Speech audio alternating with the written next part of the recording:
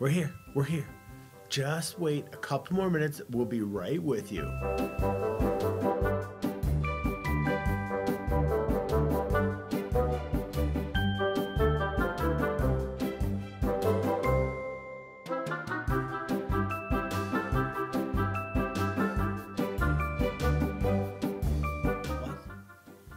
You don't like my choice of music? Uh, are you are you serious? Come on.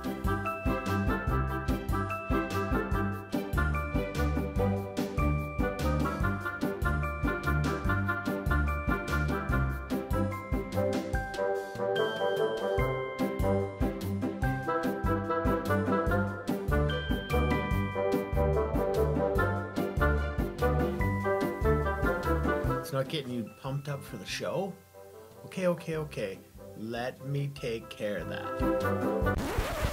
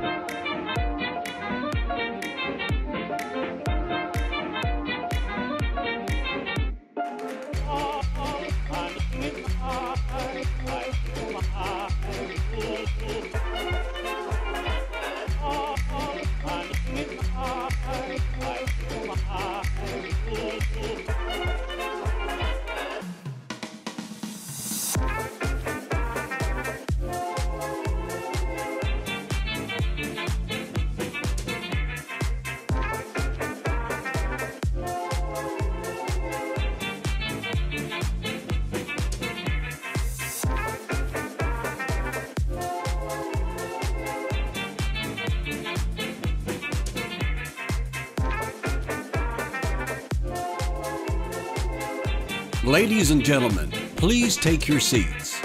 The show is about to begin. 10, 9, 8, 7, 6, 5, 4, 3, 2, 1. It's showtime, folks! What's up? Welcome It's back. been so long. It has been. Insert long. dad joke. We haven't seen you guys since last year. That is true. It has been Yeah, so ago. I'm Dana, I'm Tim. Fly Fishing Bow River Outfitters, and Thursday night live fly time.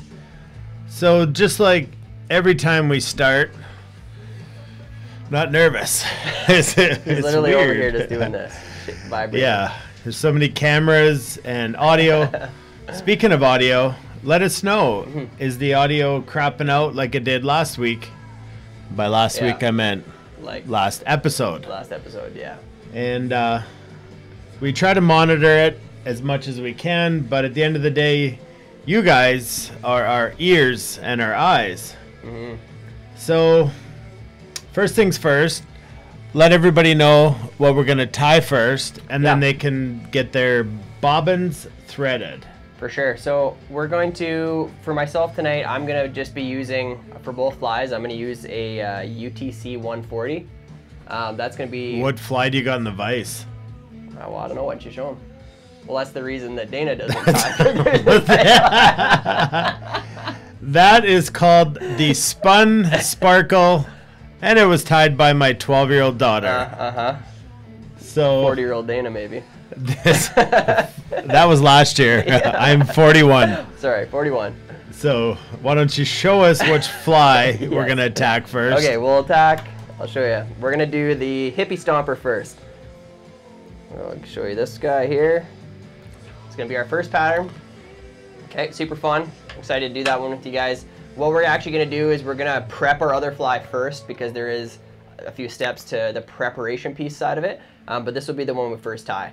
Um, what I'm gonna do for both flies, just out of for it being simple, I'm just gonna use a black uh, UTC 140. You do want to use the 140, um, at least a 140 or a 3-aught, we'll say denier just because we need the strength. We're going to be working on the foam. Um, and if we have too thin a thread, it could also cut through the foam, which we don't want to do either. And both flies tonight, as you can see, if you have your packages at home, both flies are going to be foam flies, um, a hopper, and then this guy here. So um, yeah, UTC 140. You, if you want to switch up for the second one and go to like a tan or something that's a little bit more appropriately colored to the fly we're doing, that's totally fine too.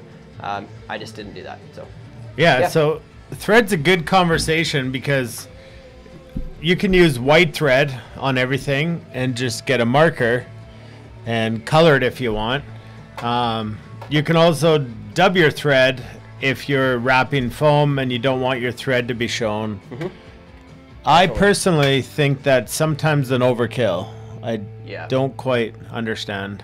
We probably don't need 50 different spools of thread. You could probably get by with like six, and that's just three colors and two different sizes, honestly.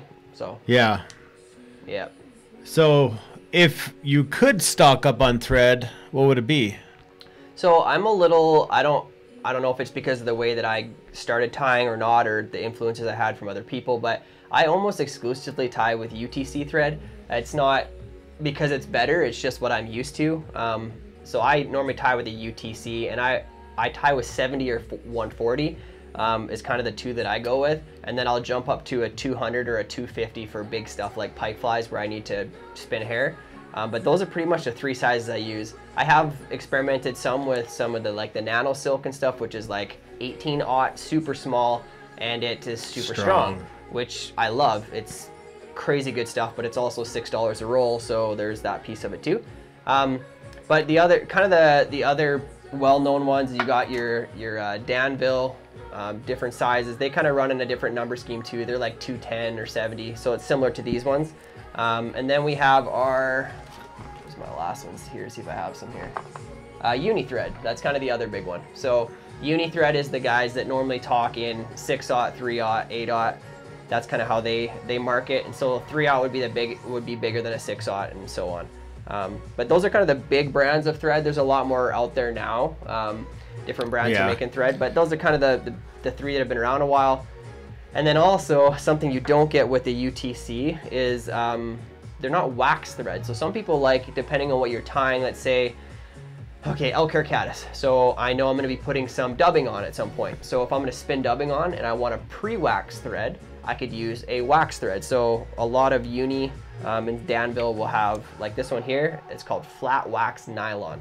So it's pre-waxed. You don't have to put wax on it if, if you use wax.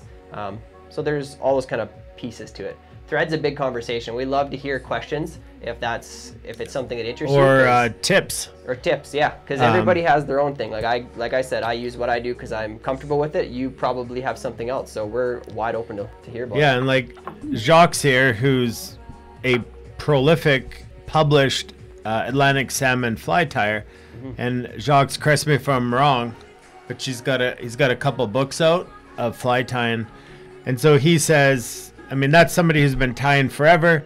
Uh, a uni eight dot and six aught is all you need. So, yeah, taking it from somebody who's been tying probably longer than I've been fishing, yeah. and not saying you're old. no, just experience. I'm young. It's just I'm really young. well, anyways, welcome to Thursday Night Live, and uh, I apparently am working on my Your people, skills, skills. You know, because I like this beer, and Yeah, uh, drink some far tonight. Some hefe. some Hefe Far, which is made with banana. Is that? Yeah, it's banana. Right? I was gonna say It's there is interesting. seriously uh, fruity something going on in there. but not fruity like you and my fly that you embarrassed me with. It's not bad. You're just practicing some skills on your new Norvise. But fruity, uh, let's say, I dubbed a lot of thread this week. He's been introduced to the world. yeah, so we can talk about that. Yeah. But let's get to you guys and what really matters. And if I can scroll back into the comments here. First of all, a couple things that helps out is if you share this post on your Facebook feed or the YouTube or wherever you're watching from, uh, feel free to give it a share and uh, just get some more cool people like you guys here Time flies with us. and not everyone here is time flies. No. They're just drinking beer like me. Hanging right? it's why we have the yin and yang. I'm here to just hang out and drink some beers, and Tim will tie some flies, Flies. or wreck some flies, or we don't even know. we don't know. Every day is different. Okay, so let's get to the comments here. That's really good beer. Shameless plug. Um, okay. Jennifer Lyle, Happy New Year. Happy New Year to you too. The real Jen Lyle. Jen Lyle. Went on a walk the other day and I ran into both the Lyles. Uh, Chris Nelson from Colorado. Uh, and talking about somebody who's learning to tie. I chatted with Chris and he's excited to just jump in, drink some beer. And uh, I believe he's starting a fly tying class tomorrow night. So cool. We're glad you're here. Uh, Roman Quintana from Montana. from Montana. Let's just call him Mr. Montana. Uh, like. Doug Lindsay, time to tie. Time to Alana Brumwell, hello. She tends to speak in foreign languages for us. She didn't do that on the boat, Thank goodness. But uh, Steve Tocheniak, and I believe I said it right once. Um, Mark Holcomb, welcome back. Bruce? Cole, Craig Jones. It's been a long few weeks. Nice shirt, Tim. That is from our friends at Shore Fishing. Um, Cam, Cam Woolnuff. What's up, buddy? We can't see now if you have a top fan badge Yeah. or not. Can't see it. Uh, Brent. Struthers, welcome. Uh, Claude Delisle, I think I said that right. Uh, Scott Borschelt, did your dad get your kid up to you? Let me know. Um, Cheyenne, she likes the name. I believe she's talking about the hippie, stomper. Stomper. Uh, Fritz Redatz from Germany, Hey, Fritz. welcome. Welcome. Um, then there's some jokes here about Cam tying rope on to tie his flies. So yeah, let us know where you're from, what you're drinking, iced tea, bubbly, wood beer. If you're into the hard stuff, let us know. Um, and if you're joining in, uh, Tim's tying with, what's your first thread? Same thread for both. UTC 140 and black. UTC 140 or 8 aught? Uh, that'd ish. be six, Six aught. aught. Sorry, yeah, the other way. Uh, Cody Frankie from Rocky Mountain Fly Shop, one of our sponsors. Cody. He is here for Hopper Night. Hopper night. We should have drank some hoppy Yeah. beer No, we shouldn't. Can't do it. Sorry. yeah. Um, Elaine Doug, fruit doesn't belong in beer. So that's a good question. That is. That's a good question. Does it belong on pizza? Tell us what you think. It doesn't. My opinion. I think it does. Actually, that's not true. Apples are okay on some pizza. Not Uh. Matthew York, finally the kits showed up in Alaska. Amazing. So Great we apologize, but there's nothing we can do about the transportation Yeah. of your kits. Um, Dave Sexton from Michigan, I see Yeah. he's a Spartan fan. fan. Yeah.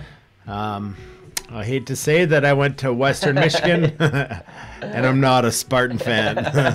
and Mark Holcomb is also a Bronco. Okay, Chaz is drinking Gibsons. Nice. Uh, Scott got his kid on Tuesday. Perfect. Jamie Kerr. Uh, Scott Berge says, not on pizza, Yeah, I'm with you, bud. but does it belong in beer? That is the question. Um, Claude is drinking the last of the eggnog with 40 Creek Nanaimo. Marvin Carl, good evening to you, sir. Welcome.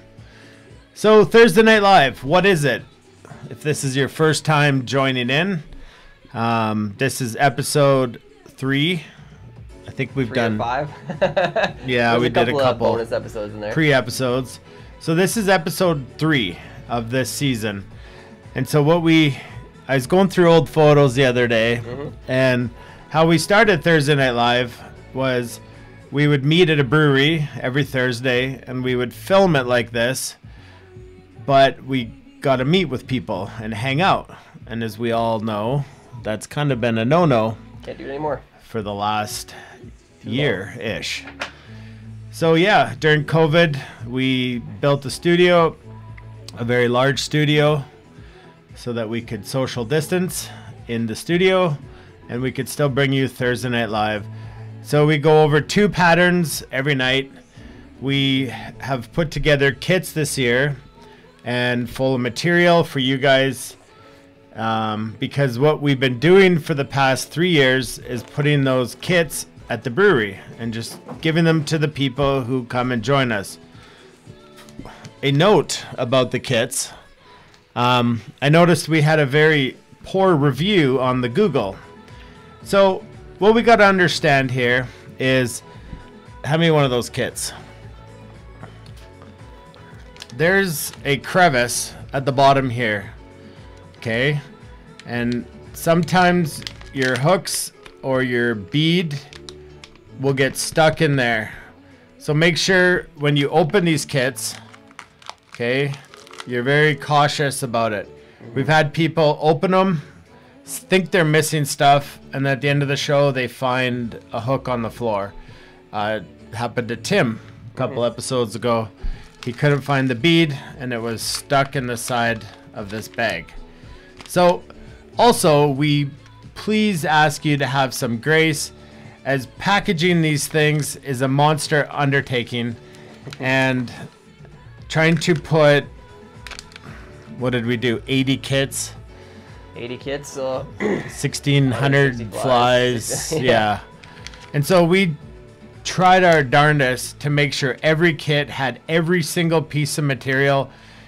If there's a piece of material forgotten or missing or maybe stuck in the bottom and you didn't see it we just ask for grace mm. okay? Because you can see all the material jammed in here. There's no machine that can do it. We can't put it on a production line and fill it up with material. So we've done our best and it is a learning process. So if there's a problem please reach out to us and we'll make it right.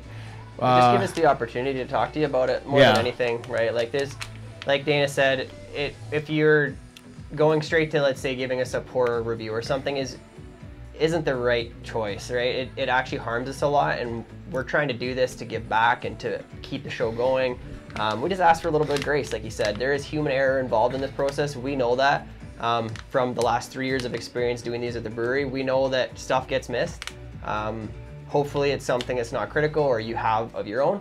that you could replace it with. But we're willing to rectify that if Yeah, you get a just hold talk of to us. us. Just talk to us. We'd like to make it make it right if that's the problem. Um, I think that's enough said. Just yeah. Yeah, so just checking out some uh, comments here, and I know they are delayed, so sometimes they're not super relevant.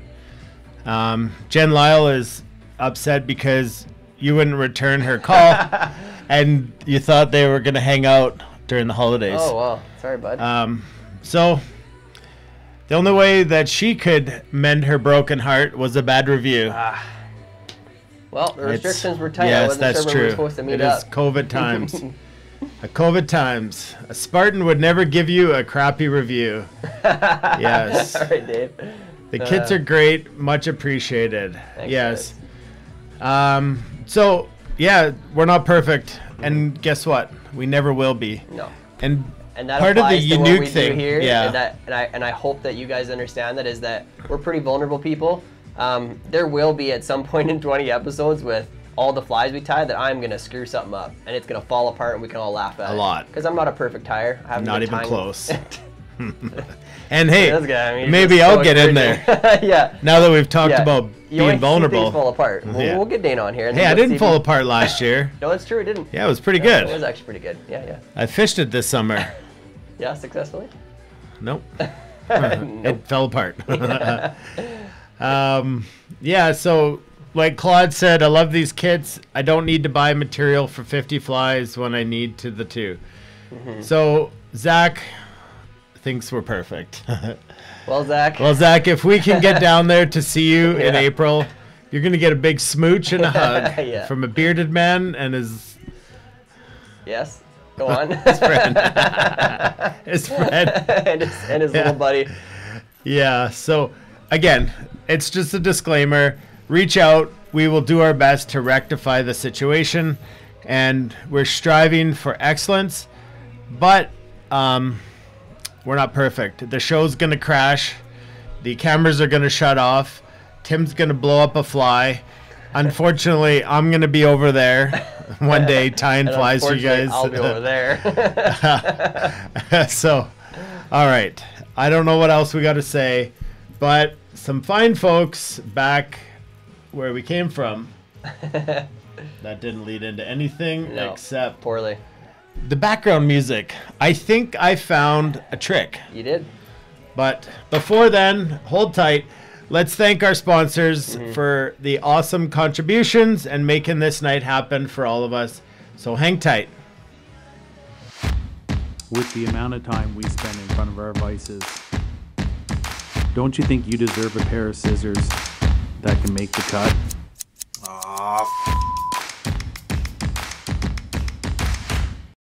Rocky Mountain Fly Shop. Family owned and operated. Need local flies? We're your guides.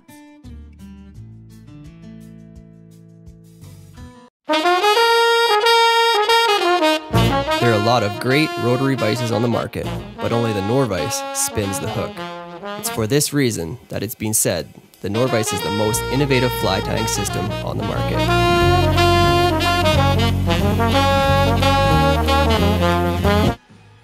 All right. Thanks to our sponsors. And now what we came for. A little bit of tying. Okay, so what, what we're gonna do, guys? We're gonna we got our other pattern which I haven't Me. shown you yet. Oh, come on now. You came for me. No, not true. Not true. See, I control the cameras. so, okay. I'm sorry. We'll let Tim have the show. uh-huh, okay, it's you, uh-huh. Tim. Go Tell ahead. me. Go ahead. I'll sit over here Yeah, and just- talk with my friends. Okay, so the first or the the second fly we're gonna tie is gonna be um, I'll put it here in the vise so you can see a little better.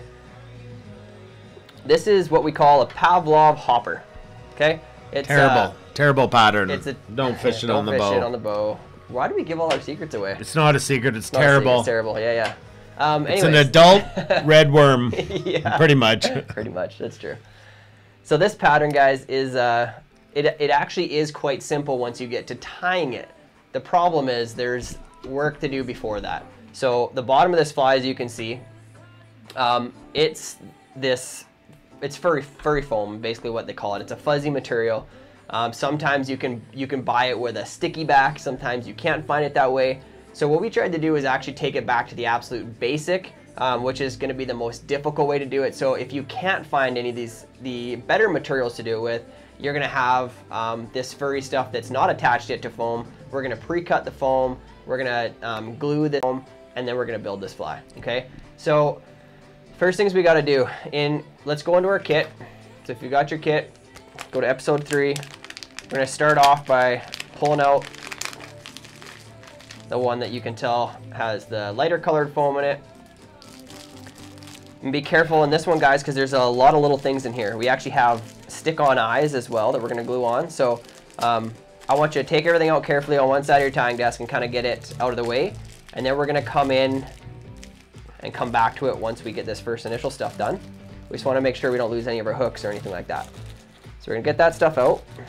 And you'll notice with the kits you've got um, a, a hook probably stuck in your bag as well. So just make sure you get that out carefully without losing it because that's going to be your second fly to tie at another time.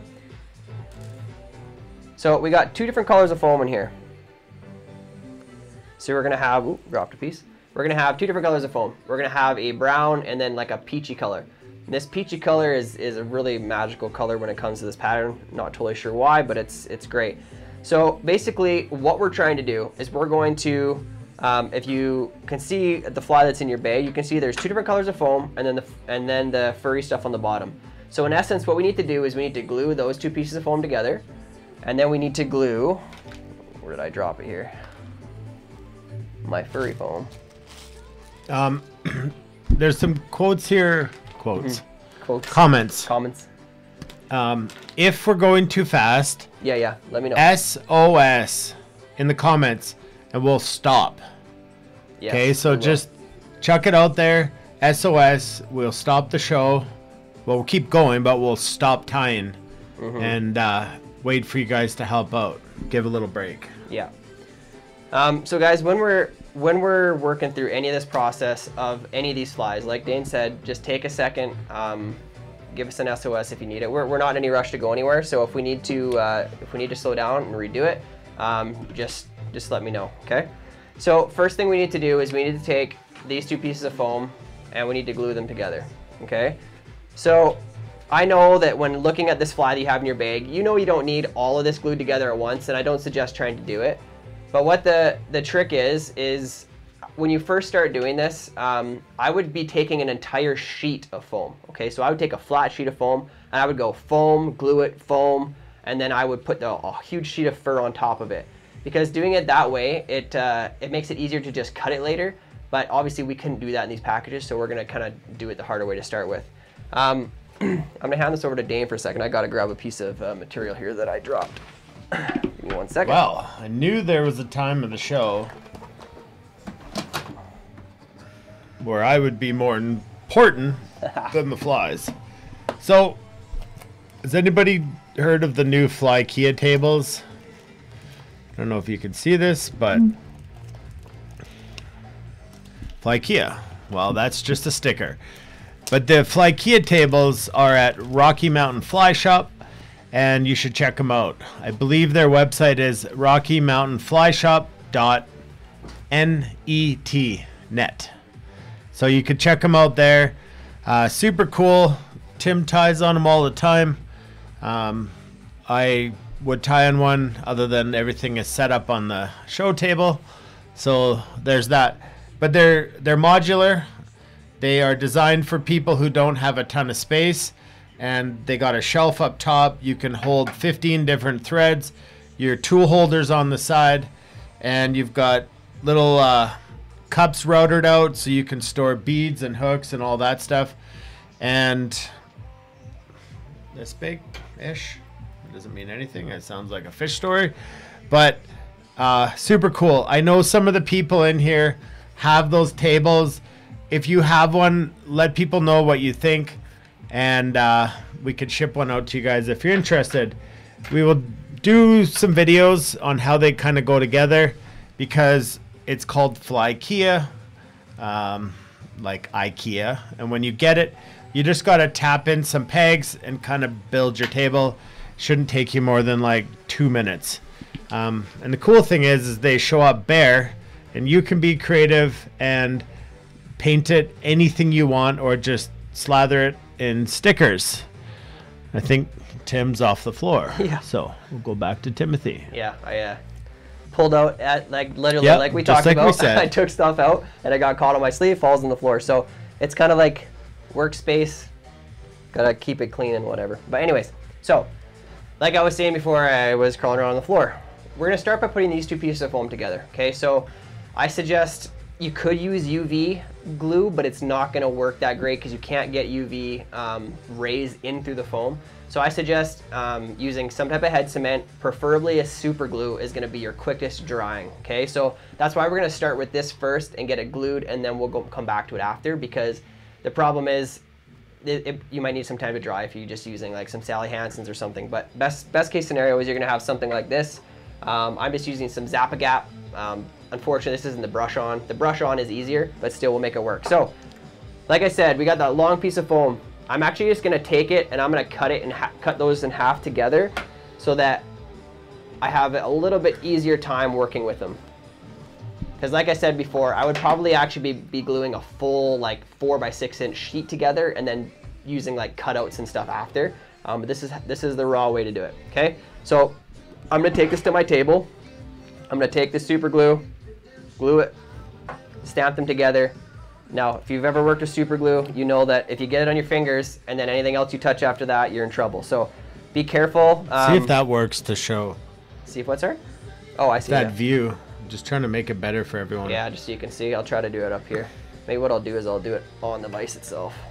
So I'm gonna start by putting a little bit of super glue on this guy. Kind of just using, if you don't have the brush on like I don't right now, I'm just gonna use the nozzle to kind of spread it out. And we do wanna make sure we get the glue all the way out to the edges.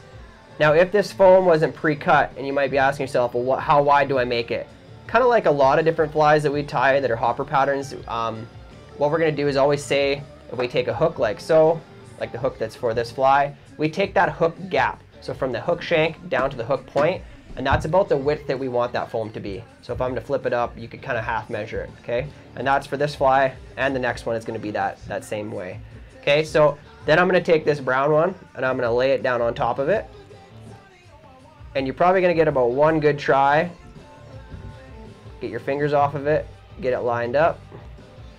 And you do want to have it pretty much even on both sides, okay? So I've got that on there. Be careful if you put too much glue on and then you squeeze it because the glue will come out the edges and then you're then you're in even more trouble. Okay? So I've, I've pressed that together. I'm gonna give that a half a second. Now we're gonna go to this other material. Now this stuff is frustrating, okay? And I'll, I'm just gonna be straight up honest with you. This stuff is not easy to work with.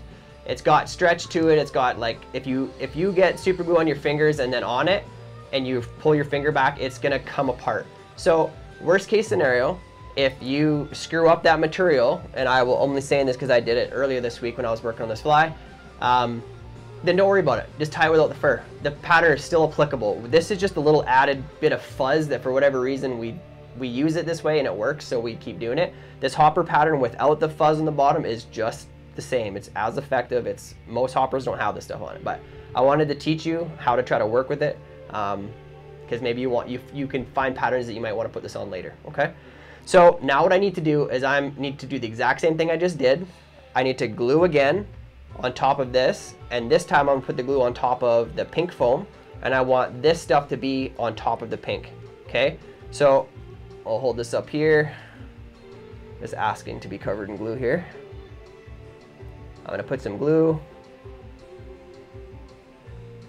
Making sure this time especially I get right out to the edges, okay? Because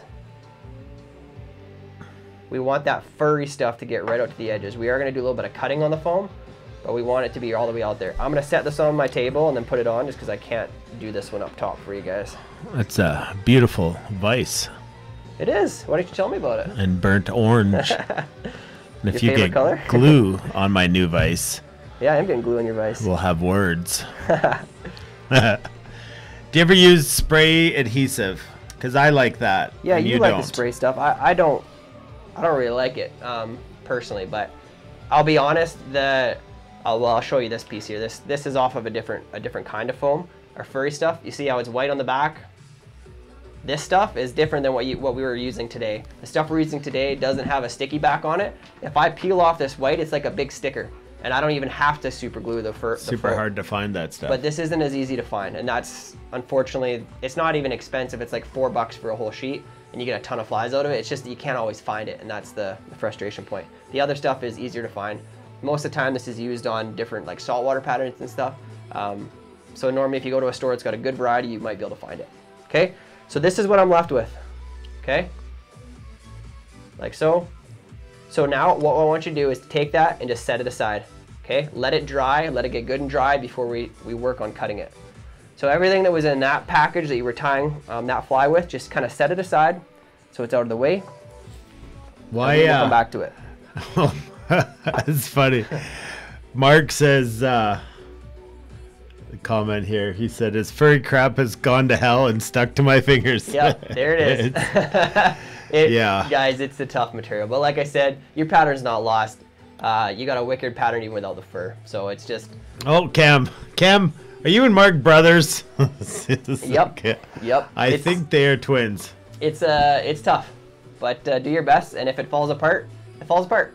And then we'll just tie it without it. Yeah. So if your furry foam sticks to your fingers, what, Tim? Why don't you tell us what happened earlier? Well, it's still stuck on my finger, so I can tell you that it happens. so there is a trick to that, but uh, truly, if you like the pattern, the furry bottom is an element. It's good, but you can still tie your fly without that, and it's just as effective. Um, but if you're getting into that, get the sheets and then spray them or glue them in more of a mass production type sense. Uh, I know Adrian said a shop in Calgary has the adhesive version, and if you can find that stuff, stock up because that is the ticket. When you find it, buy it all. Uh, Yeah. So Doug doesn't have glue. What are options? So Um, without without glue, you you really can't adhere it outside of some type of spray adhesive or um, a, even a resin. Doug, if you've got like some nail polish, nail polish works. You just gonna have to let it dry a little bit longer. Um, you really want a quick drying stuff for this because otherwise it'll just soak into that fur and then it doesn't really adhere to the foam below. Um, yeah, it's a tough one. I'm not sure if there's really any other way to do it besides Mm-hmm. gluing it. But what you could do is you could pinch at least your two pieces of foam Mm-hmm. and tie this, and then hold off on the second fly.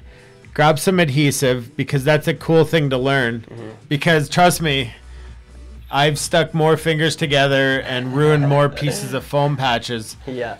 Um, Even double-sided them. tape might work. it would. Yeah. Because you're not like, I'll be honest, one fish in and all the fur is pretty much It's mangled. gone. Yeah. But it's it's still kind of there, and I, I don't know why, but it seems to create this buggy, buggy appearance to this fly. So even if you just use double sided tape Hairspray. Scott oh, Berge. Oh yeah, there you He's go. a great tier. yeah, yeah, Yeah. hairspray It's a yeah. good it's a good a tip. good point.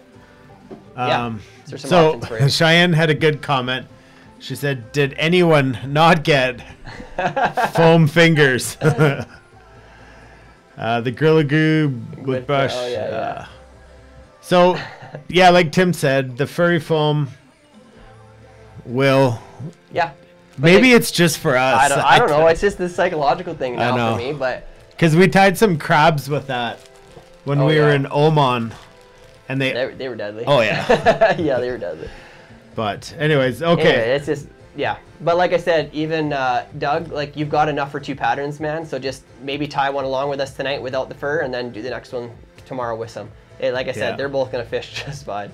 Yeah, and so it's a good point because all of these videos are stored on YouTube.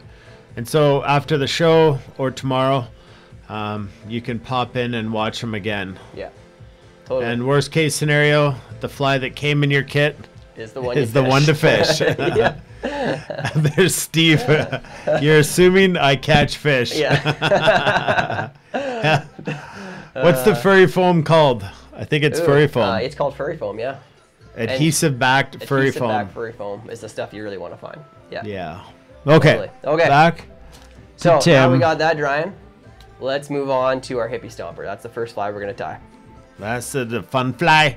super fun fly. Um, I'll show you a couple other ones here that I tied this week. If you want to change up the color, the variation, This would be like almost a green drake style, which Dana's look in at love that. with. You could tie it in. Oh man, what else did I tie here? Tied in red. There's literally so many different variations of this pattern that you could tie. Um, and the, the cool thing is, really, they actually recommend anywhere from a size 8 to a size 18. So that you can tie these super small. Um, and they're just, they're not trying to be a specific pattern. Yes, it could go hopper, it could go stonefly, it could be, um, it's just big and buggy and it stays afloat really well. Uh, the hackle, the foam, everything, like riffly water, really good fly for it because it's just gonna stay up there. Okay? My my favorite part about the comments is, I think as a group, we're a train wreck. Collectively, uh, this. Where did I see that? Uh, where did where did I see that comment? Oh, my super glue was frozen in the garage. I heated it, and it's all good. So it's like, just, we'll, we'll get there together, guys. We'll get there it's together. fine. Yeah, Um, oh, so could you apply dubbing to the hook first? Totally could. Oh yeah, definitely. Lots yeah. of lots of foam patterns have dubbing on the hook. Yep. And people will glue the dubbing, and the foam gets glued to that. yeah, yeah. It, it can it can be used as an, an an extra way to to gain adherence to it. So take a look at your pattern, guys. That's kind of your general what we're going for. We're gonna be tying this cool purple and black version. Um, I'll take you through it.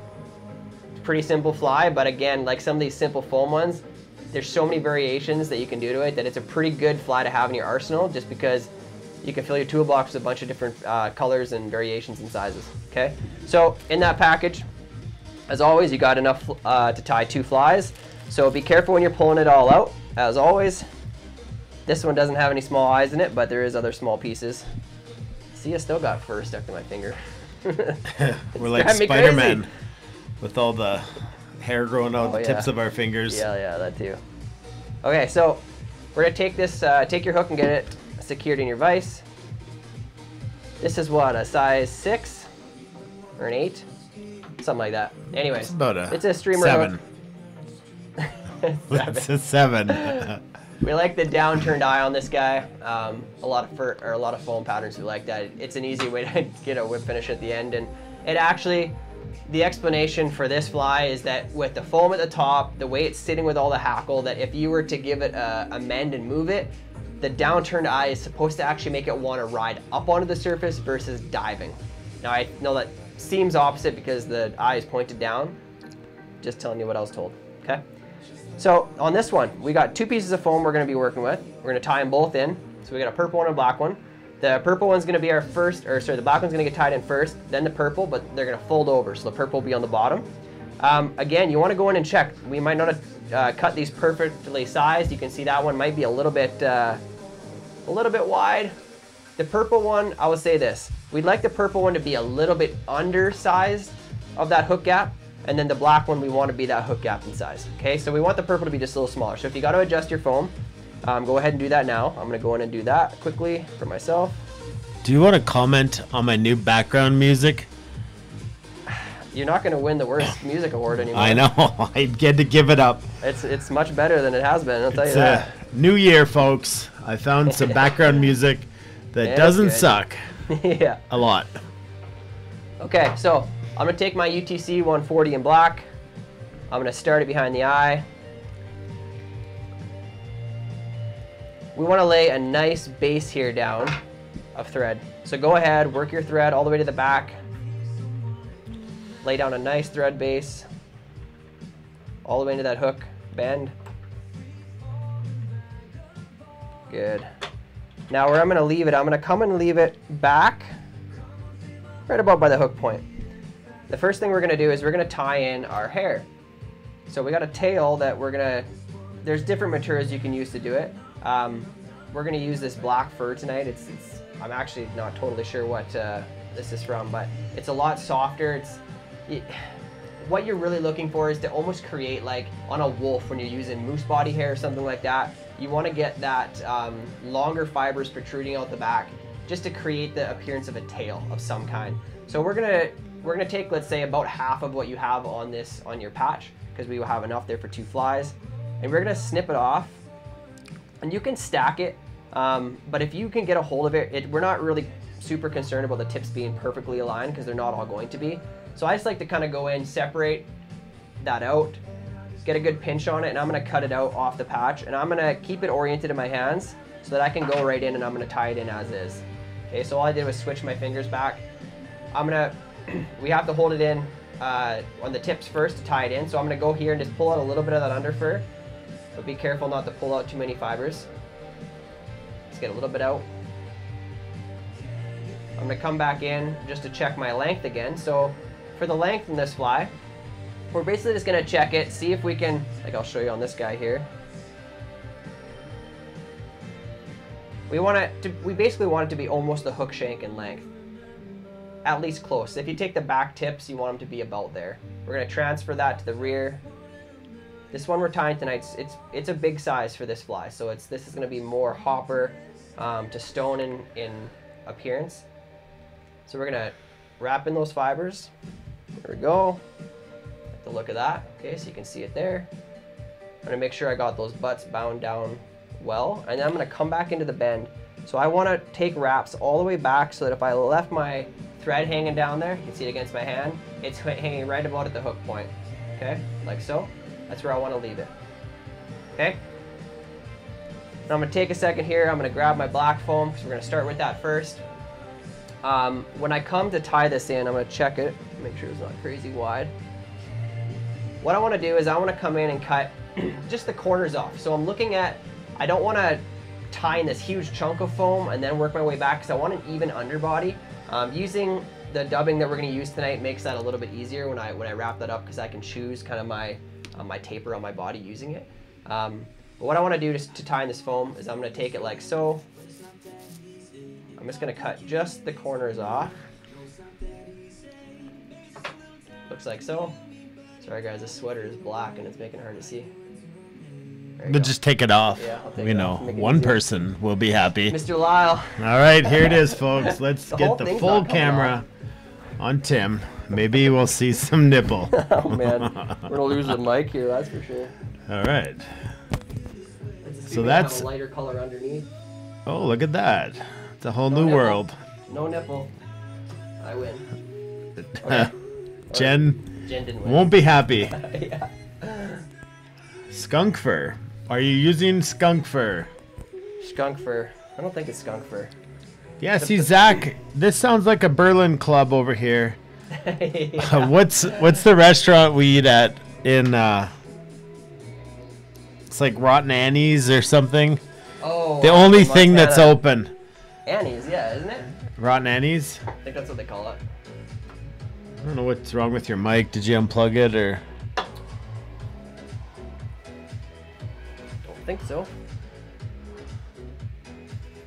Good. There it is. Okay. There it is. There it All is. right. Now I'm a club in Berlin. Club in Berlin.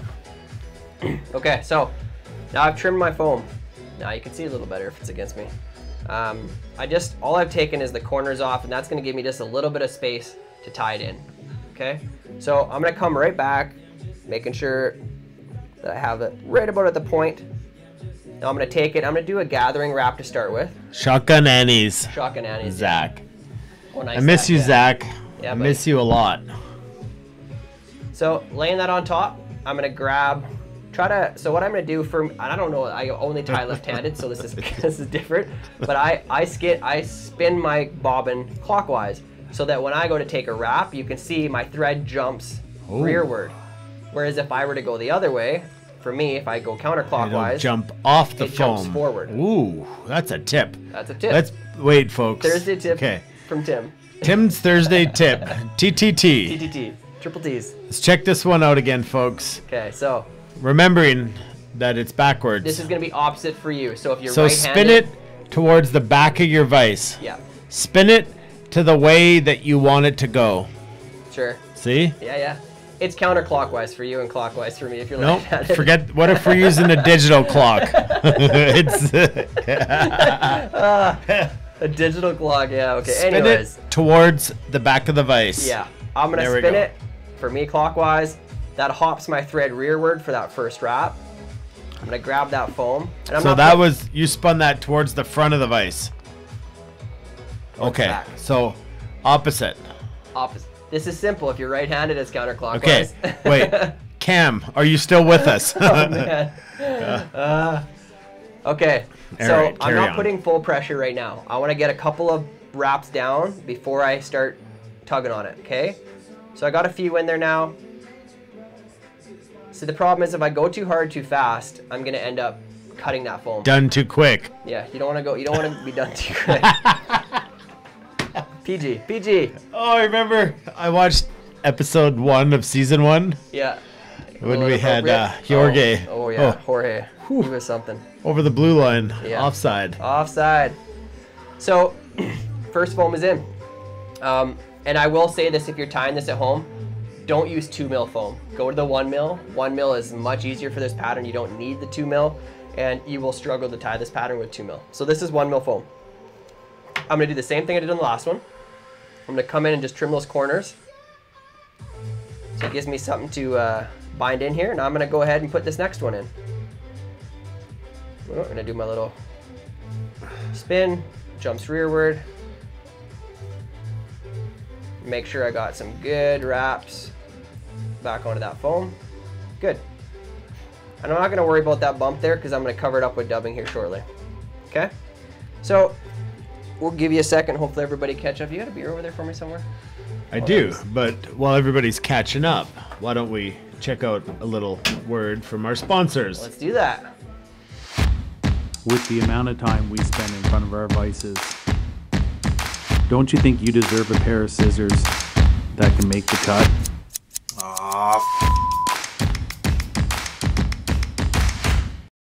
Rocky Mountain Fly Shop. Family owned and operated. Need local flies? We're your guides.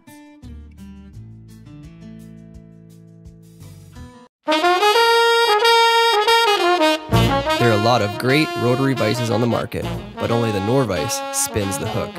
It's for this reason that it's been said the Norvise is the most innovative fly tying system on the market.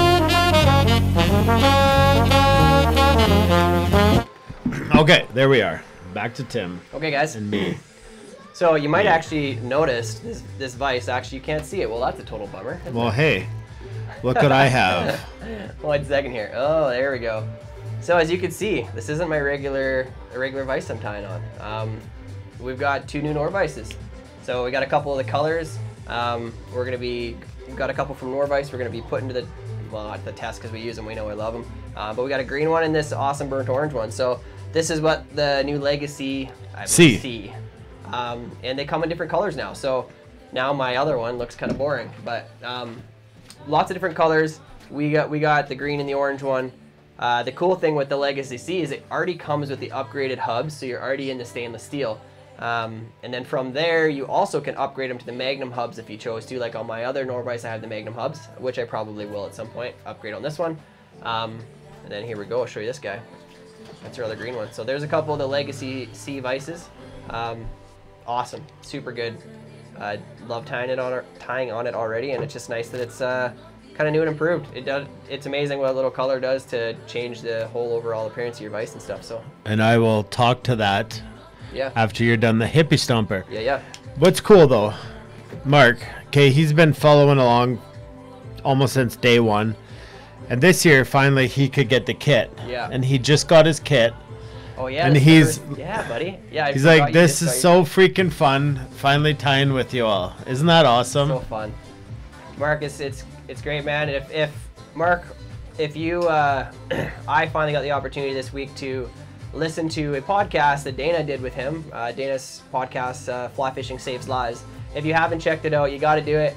Um, there's three or four episodes now. Um, I just f- got to listen to Mark's. What a story, Mark! Like the parallels that I felt with you through the whole thing was is amazing. Um, really enjoyed it. Loved your story and appreciate you being open um, and giving us a little insight into your life. Because fly fishing does save lives, and so it's it is really good when you can hear that. Um, so yeah. Anyways, Mark, I'm glad you're here, man. I'm glad you're able to tie along and you got your kit finally. That's great. Okay, so we should be caught up now. So what we're gonna do from here is when we look at this fly, So I'm going to show you this quickly here again. When we look at this fly, this one here in my hand is smaller. You can tell it's obviously smaller than the one we're tying right now. But we want to cut this fly, let's say about in half. So if I think of my thread being right about here, that's where I'm gonna be folding the foam to the first time. That's where I'm gonna bring my dubbing up to. And then we're actually gonna put a little bit more hackle than is on this guy here. We're gonna put a little bit wider band. So what I want it to look a little bit more like, it's gonna be like this. Okay? So a little bit more um, hackle in there. Where the hackle is really gonna help it ride in the right orientation. Um, it also gives the bugginess to the appearance of legs, okay? So first thing we're gonna do, take this back. We're gonna start by putting on some dubbing. So you Question here. Yeah. Sorry, just because it was about the vise. Yeah. Uh, Zeus was says, do they come as a lefty? Um, So what I should. This is- this is left. yeah, this is a left. It's currently set as left. Um, but what Dana will show you is when you get it, um, understanding this system is put on a table of some kind. Right now we just have it mounted on our full tying table, but Norvise sells tables, um, and there's lots of different tables you can buy um, for them. Like ours. Yeah, like exactly like our fly tying tables. Um, so, as you can see right here, I currently have two vises, um, and depending on how you orient them on the table, left-handed, right-handed. So you have a post, right? So imagine this is on a table. So this is for me for left-handed. Um, I tie this way. Well then, all you do is you mount it on the other side of the table, and now I've got a right-handed vise. Okay. So they're ambidextrous. There's nothing that makes them left or right-handed. It just depends on the orientation of how you put them on your table. Okay. So that's kind of one of the cool things about it is they're very. I actually have. Uh, what's that other one I have? Um, the other vise, Regal. I have the Regal Revolution, and that's one of the downfalls of that vise is I I can't at least figure out how to make to make it left-handed. So using your hand, this my lever should be on the front, and I, I can't figure out how to do it. If someone knows, that's also a great tip. Let me know because I haven't figured it out. Um, so another another great vise, but I like how the ease and simpleness of um, this Norvise. It's and when you when you look at it, it doesn't look like there's a lot there, but trust me, it's it's packing a, packing a lot of heat. Okay. Perfect. Okay. Eventually, we're gonna put dubbing on this hook. Okay, this is an attractor fly. Yes, it is an attractor fly. Absolutely. Uh, post uh, Brent post width. That's a good question. I believe the recommendation is 14 inches. Um, I have mine set at 14 inches. You can extend it to I think 17 or 16, 18. 16. Yeah, because uh, what the problem is is on the bobbins they only have they go to a certain distance before they need to come back. And so if you go if you have them too far apart, when you rest your bobbin over there, it's too far. So my my lucky number is 14. I like that distance. That's what I use. okay, so we got lots of dubbing here, enough to tie about 50 flies. We're, we're not going to be um, super stingy with it. I'm going to take a big pinch. And this is like the dubbing noodles we've been doing already, guys. Um, I'll show you kind of at this angle so you can see a little better. I'm going to grab it. I'm coming in on my thread, and I'm spinning it on. Maybe wet your fingers a bit. Remember, my fingers keep moving in the same direction. So I'm here, okay? I'm not going like this because that works against itself. I need to go, go, go, okay? Now I'm gonna make a dubbing noodle that's a few inches long, three, four inches long. And I don't, I honestly don't really care if it's super um, tapered or anything like that because we're gonna, we're gonna add a bunch of dubbing on here and kind of make this overall taper look the way it is. So I wanna start that dubbing right back on that first bump. Get a couple wraps up there. And as you go, you can pull it, tighten it up.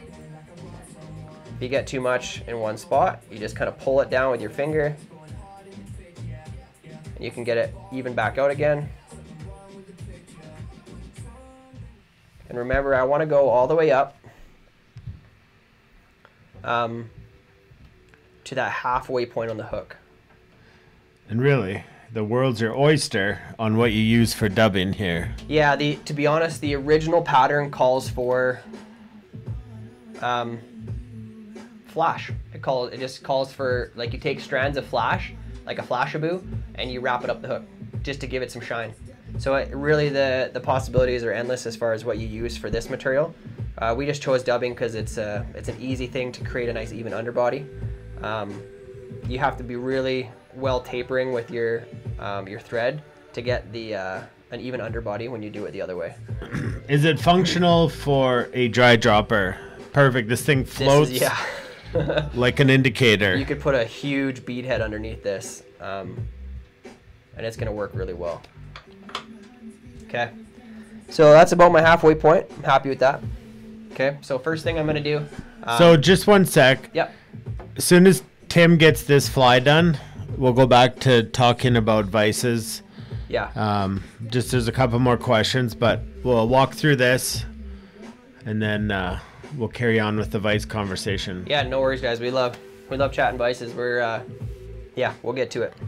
Okay, so got my thread here. I'm gonna fold first that purple one over. I'm gonna hold it with this other hand. I just like to take a, a nice loose wrap, basically allowing just the tension of the bobbin hanging to secure it. Now I'm gonna switch back to my other finger, okay? I'm not gonna tug super hard on that yet. But what I like to do is take one more wrap and then come pinch right where I put those on. And then I'm gonna, then I'm gonna tug down a bit. Adding a little extra pressure each time. Again, if I go full pressure on the first one, all it's gonna do is cut through that foam and then I've broken it off. Jed Lyle, What'd you say? you said he, Oh, that. because we know, We know it's it is. Steven. Yes. But- that glue tastes great. and Jamie goes, "It's better if you sniff it." like I said, we are a dysfunctional Yeah. group of people. We'll get through this together, guys. A We'll divine intervention has brought us all together. yeah. Okay, then I'm gonna do the same thing with the block, guys. I'm gonna come over top. I'm gonna take that nice first loose wrap, let it hang. I'm gonna probably go four turns in total, each one just putting a little bit more pressure and squeezing down. So I'm squeezing here, and the reason I'm holding this is if I let go and pull, that foam's gonna wanna turn. Okay, it's gonna wanna spin around the hook. And I'm trying to prevent that from happening. Okay, so make sure I got it nice and secure. I can see the underside. Looks good. And see, right there is why, excuse me, why I went a little thinner with the purple. Because I want to see the black out over the edges of the purple from the underside. Okay, it's like a double accented foam. Now what I'm to do is I'm to pull these guys back, both of them. Get my thread in front and work my thread up towards the eye. Now I don't want to crowd this eye, guys. I don't want to be right up here. Okay, I want to leave myself about an eye length behind it because we're gonna whip finish on this and have to pull a bunch of foam back. So it's important to leave yourself a little bit of space because as we all know, when we crowd the eye, nothing good comes of it. Okay. All right, so from here, what I'm gonna do is I'm gonna now, I'm up an eye length behind the eye. I'm gonna lay that purple foam back down. I'm gonna take that same, same exact sequence I did last time, pinning it down, okay? I'm gonna pin that down there, squeeze it a bit. Now what we're actually gonna do is we're gonna we're gonna bury all this foam. But first I need to do the same thing with the black. So I'm gonna pull the black foam over. Take a few wraps. And now that I've got that fairly secured in there, um, and guys, I should also say this is enough foam to tie tie two flies. So I'm gonna snip it off here, and then you just set these two pieces aside to retie it. Okay. So what I'm gonna do is I'm just now gonna start gathering some of this foam going back over it. And if you pull too hard, ooh, things. Here. We're just setting some mood lighting here, okay? You just hold tight. yeah. we told you. Yeah. Lights will die. Wait for the disco. Uh, the disco ball is gonna start here in no time.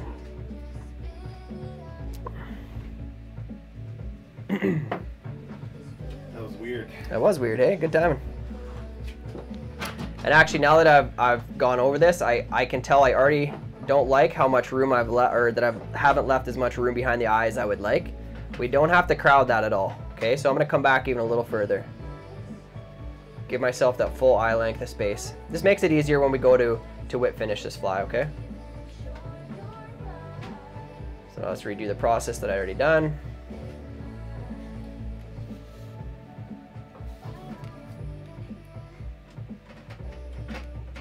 And all I'm doing is I'm gonna start burying that foam.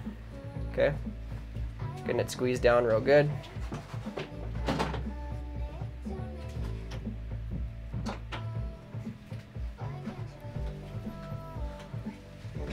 That's So a if close you- call. Yeah. So when you look to the underside, you'll know if you got your ratios right, if, if, if the stuff you've buried, so I'll show it here like this, if it looks like it's half and half, and it looks like I'm pretty close. We're not including the hook eye, we're including that space behind it, so you want it to be about 50-50. It's gonna seem like a lot of hackle, but you, you want it. Mike Hawkins. Uh, I thought I went blind for a minute. No sir, you did not. You did not go blind. Okay, next piece of our puzzle here. We are going to grab our legs. So we got these white legs here. Okay, so we're gonna take one and two of them off. We gave you guys lots of extra legs, so don't worry if you lose a couple. I love the comments when things go bad. Don't crowd the eye, keep some COVID distance. Yes, COVID distance. Now we need some disco lights. Yeah. So What's I up? got David Spencer's here. Hey Spence, what's up, bud?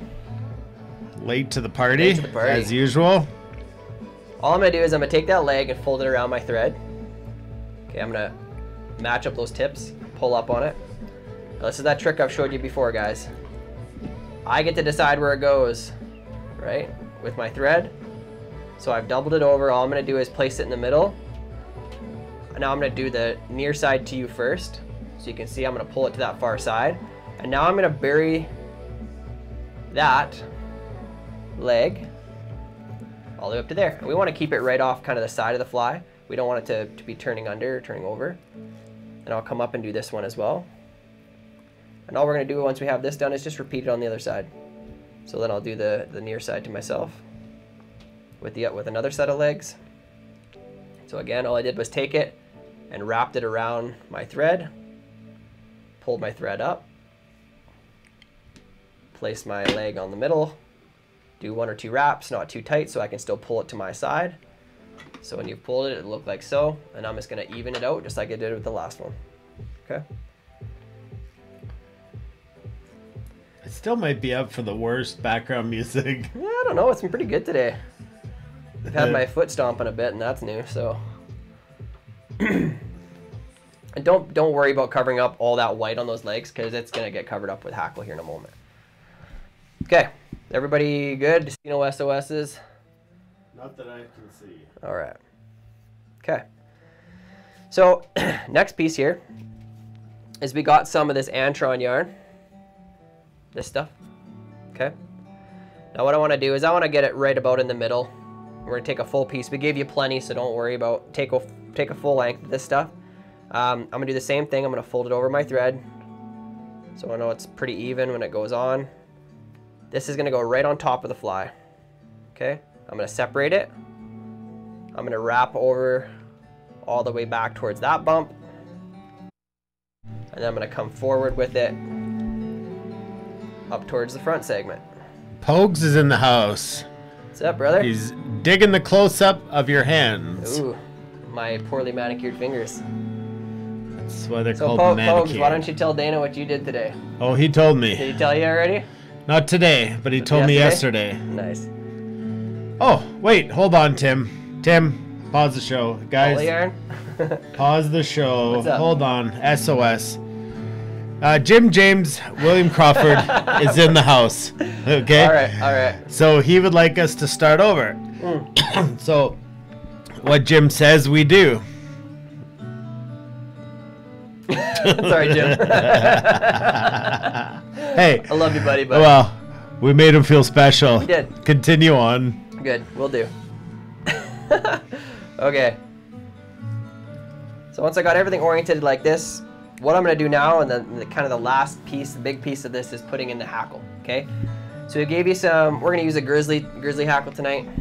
Um, size is not super important here. We uh, don't use your good dry fly hackle in this because we're gonna trim off the bottom anyways. Okay. So don't don't waste your good stuff. Um, this is more like a bugger bugger size um, hackle. Okay. So don't yeah don't get crazy. What I'm gonna do though to, to kind of prep it is I'm gonna peel off some fibers down near the butt where the stem is quite thick. Now when you're tying in uh, when you're tying in hackle, there's lots of people kind of have different opinions on how they like doing it. But what I like to do, it's not as important on a big fly like this, but when you get to tying dry flies, you, you need it. So it's good to it's good to practice here. What I'm going to do is I'm going to come in and cut a little triangle.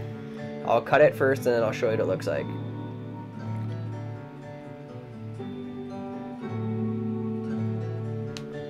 If I can get them to cut.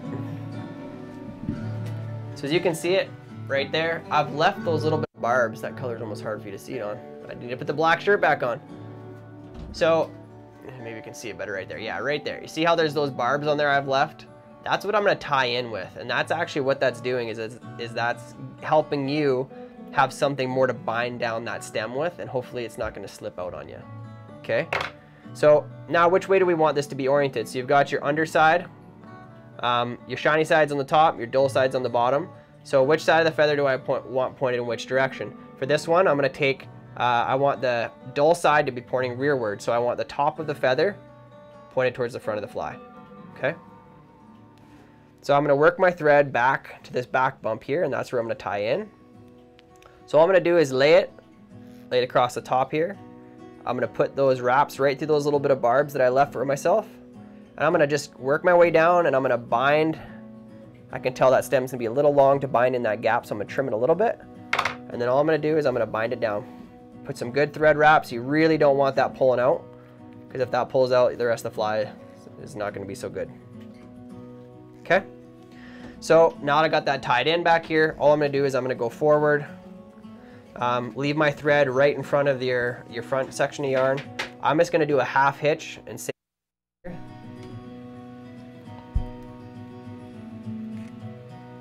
just so I can get my bobbin out over here and I can rotate my and when you when you grab that that stem is going to be quite thick at the rear so when you grab your feather just kind of put some a bend in it. So it's to kind of torque that uh, that feather a little bit and it's to help this process start. Okay so now we're ready. Let's uh, let's get this hackle wrapped up and don't go don't go stingy on the hackle. This fly stays up looks good looks buggy because of the amount of hackle we put on. So really uh, really get it in there. Okay, I'm looking for my hackle pliers. Um, hackle pliers not hugely important when you got a longer feather, but I like to keep them in my hand so that if I get to the point where I feel like I need to grab them, they're there. Okay, so nice touching wraps, even almost overlapping at times. We want to make sure that we have this heavily hackled. Should be using most of the feather up. So I can tell and it gets a little stingy. I'm going to go in there now and grab with my hackle pliers.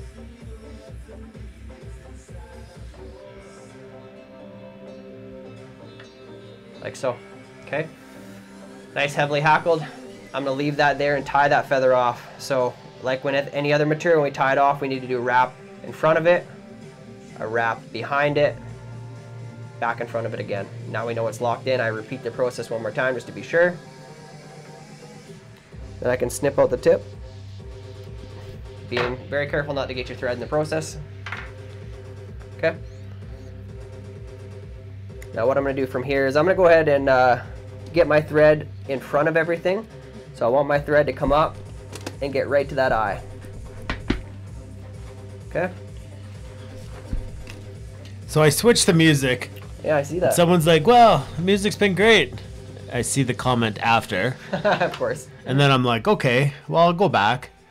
And then I decided to go back, and someone's like, wow, this music is so relaxing. So I quit. Just can't win. I'm out of here. You can't win. What if you don't have hackle pliers? Uh, if you don't what have if you don't have hair stacker? Then you gotta win one. What if you don't have a bodkin? Well, It's a good question. it's a good question, Dana. Why don't you tell What us? What do you do? What do you do? I don't know. I'm asking people. Put what do you your do? fingers so you don't slip through. It's a good question. What good do you do? I might have a solution. Hmm. Stay tuned. Okay, staying tuned. So guys, we're pretty much done this. What we need to do, all the hard work is done. We just need to do some trimming. Oh, I think you are done. That's Not done. Don't tarantula on steroids. Yes. Okay, so all I'm gonna do is I'm gonna go Use in your and teeth, finish. Steve. yes. And uh, get your wife to spin the vise, and you jump around the vise. Yeah, that works. Yeah. It's a rotating vise. So all I've done, guys, is I've kind of pulled everything out of the way, and I'm just gonna do a three or four turn whip finish. Get that locked in. Make sure I didn't trap any legs. If you trap some hackle fibers, don't worry about it. You can trim them out. And like I said, we're trimming the bottom anyways. So before we do anything else, flip that upside down.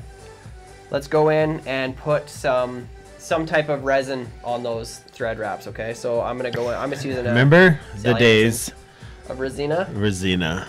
Resina is no longer. Well, she, she gone. She I'm gonna have to figure out how to bring her back. Yeah, there's some. We don't want to. We don't want to lose anything. Doug said use super glue on your fingers for grip. so yeah, that works that's too. exactly why we had everybody pre-glue that foam because you don't wanna do this. No, we needed their fingers Yeah. sticky. Oh yes, that's true. Keep them sticky and ready to go. Okay, guys, so we're gonna trim this foam. Um, how how long do we want that foam? We want almost the same gap as the hook gap is the width that we want that to be in front of that hook eye. So I gotta come in and kind of look at it. I'm not gonna really over science this at all. I'm just gonna leave a little bit of a lip there. Like so. Okay? I'm not gonna trim off those corners. I like them the way they are. Okay? Nice blocky looking head. And this is also what's gonna help it float. So it's it's got almost a flare like a, a gurgler almost, right? Um, Oh, the gurgler. yeah. Bring Okay, that let's, fly let's back go in soon. and let's go in and trim our yarn. So on the back piece of yarn, we're gonna pull it all together. We're gonna take our scissors and lay them on this bump, and we want it to be about half way back on that back bump. Is where we're gonna lay our scissors, pull the pull the yarn down on it, and cut. Back one's nice and short. It's about half that that bump. Okay. The front one, we want it to extend just slightly higher than the hackle. Okay, so it's gonna be just a little longer than our other one. I like to leave it, this is more of our sighter one anyways. I'm gonna leave it a little bit longer, like so, Whoa, okay? whoa. Whoa, Comments bottom. no I on, left. Okay, just so y'all know, me on my own cut my thread and finished a fly. Cam, Cam. You did it! Our work here is done, folks. That's been another episode Yeah. of Thursday Night Live. Give me a mic, We'll see to you next week. Uh, success. We're never back. We've No. conquered. That was our one job. Well, those legs look interesting on this fly already. How about that? the So tarantula. length on these is not. It's just a preference, guys. I I like to do one side first. I'm gonna leave it about like so, and then when I look at the other side, I can kind of compare it off of it. Just don't overcut them. If you start going too crazy, you uh, you end up cutting all your legs away. and if you want, tie two legs out the back. Tie them like a joint in a grasshopper leg. Yeah, really, like It's Like we said, this is one of those limit. patterns that's like, there's so much you can do with it. So the last piece of the puzzle on this fly itself is we need to trim that hackle in the bottom, okay? And we want to trim it virtually flush, okay? So make sure you get your legs out of the way because you don't want to do that. Um, so we're not trimming the sides though, okay? So I'm gonna take my scissors in and I'm gonna come right in and only have them like just barely, barely open, okay? Because I don't want to cut Why don't everything. you tell us where you got those scissors? Let them speak for themselves. Sure. sure. Sure are nice. Yeah. Nobody likes scissors that don't cut. That's off. So I'm gonna come in here and I'm gonna trim those off virtually flush. But we don't want to cut too far up and take away the side ones because what those side ones are doing is giving us stabilization. So there, you can see the bottom is virtually flat, like so. I'm happy with that, okay? that is your hippie stomper. Okay, guys, wicked fly. Hopefully that went well for you. Um, if not, please try again. Go get some foam. Very few materials to tie this fly, and you can do it in so many different sizes, colors, all that good stuff. So great pattern to keep in your box, especially if you're headed to the mountains looking for some uh, cutthroat trout. Yeah. Yeah, so when we when we made the samples, we just barred the legs with a black marker. Yeah, just a black marker. So you can take white legs just like we did with white thread and color it all you want. You can get red, any color. Markers, Sharpies are there you go. You got some there. Yeah, I just have a couple different examples here, guys. Like this is just white. Um, these, the ones we put in your kit, those are actually drawn on barred. These ones are purchase barred. It really doesn't doesn't matter, right? Um, the original pattern calls for white on black, so it doesn't, uh, or black on white, sorry. So just bar them up, super easy. But the nice thing about the white legs, and I always have white legs in my tying stuff, is you can literally pick whatever color you want to make them. Do you have a marker? Um, I do. Yeah. Give me a moment. What I'm thinking is I can show you guys something. Like a permanent one. Yeah, just hold tight, stand by.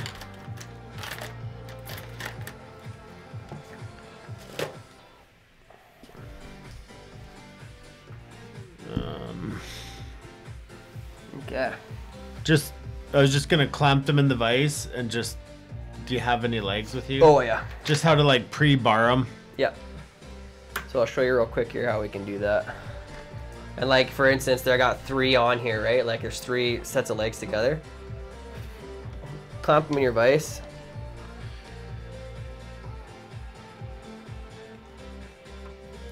I would just pull it out, but don't pull hard, don't stretch, just pull it till it's at its end. Then I'll use, let's say, brown here. I'm just gonna come in. Um, when I come on the leg, I'm gonna go on one side and the other.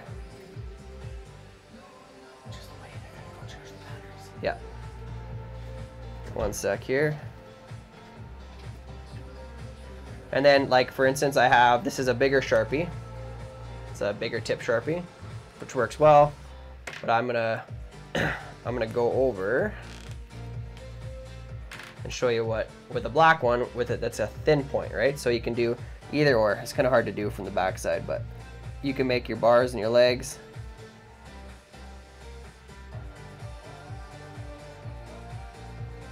All the way up.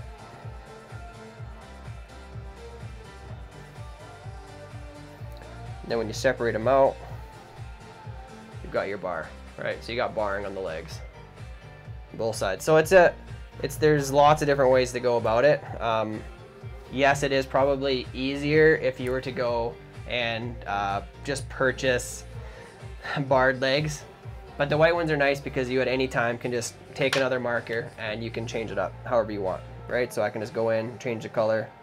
I can make a wider bar if I choose, right? Like this ultimately variable, however you want to do it. It's pretty simple.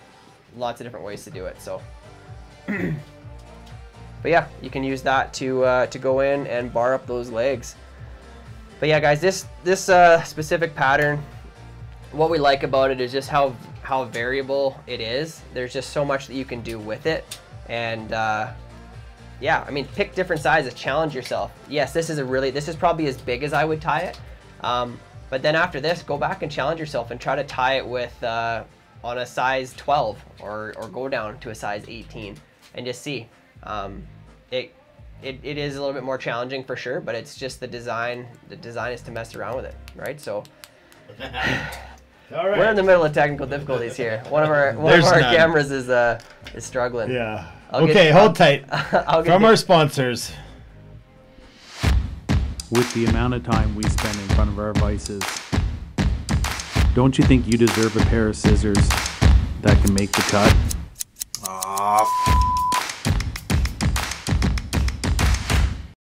Rocky Mountain Fly Shop. Family owned and operated. Need local flies? We're your guides.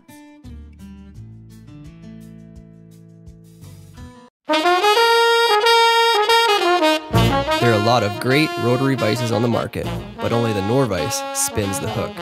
It's for this reason that it's been said the Norvise is the most innovative fly tying system on the market.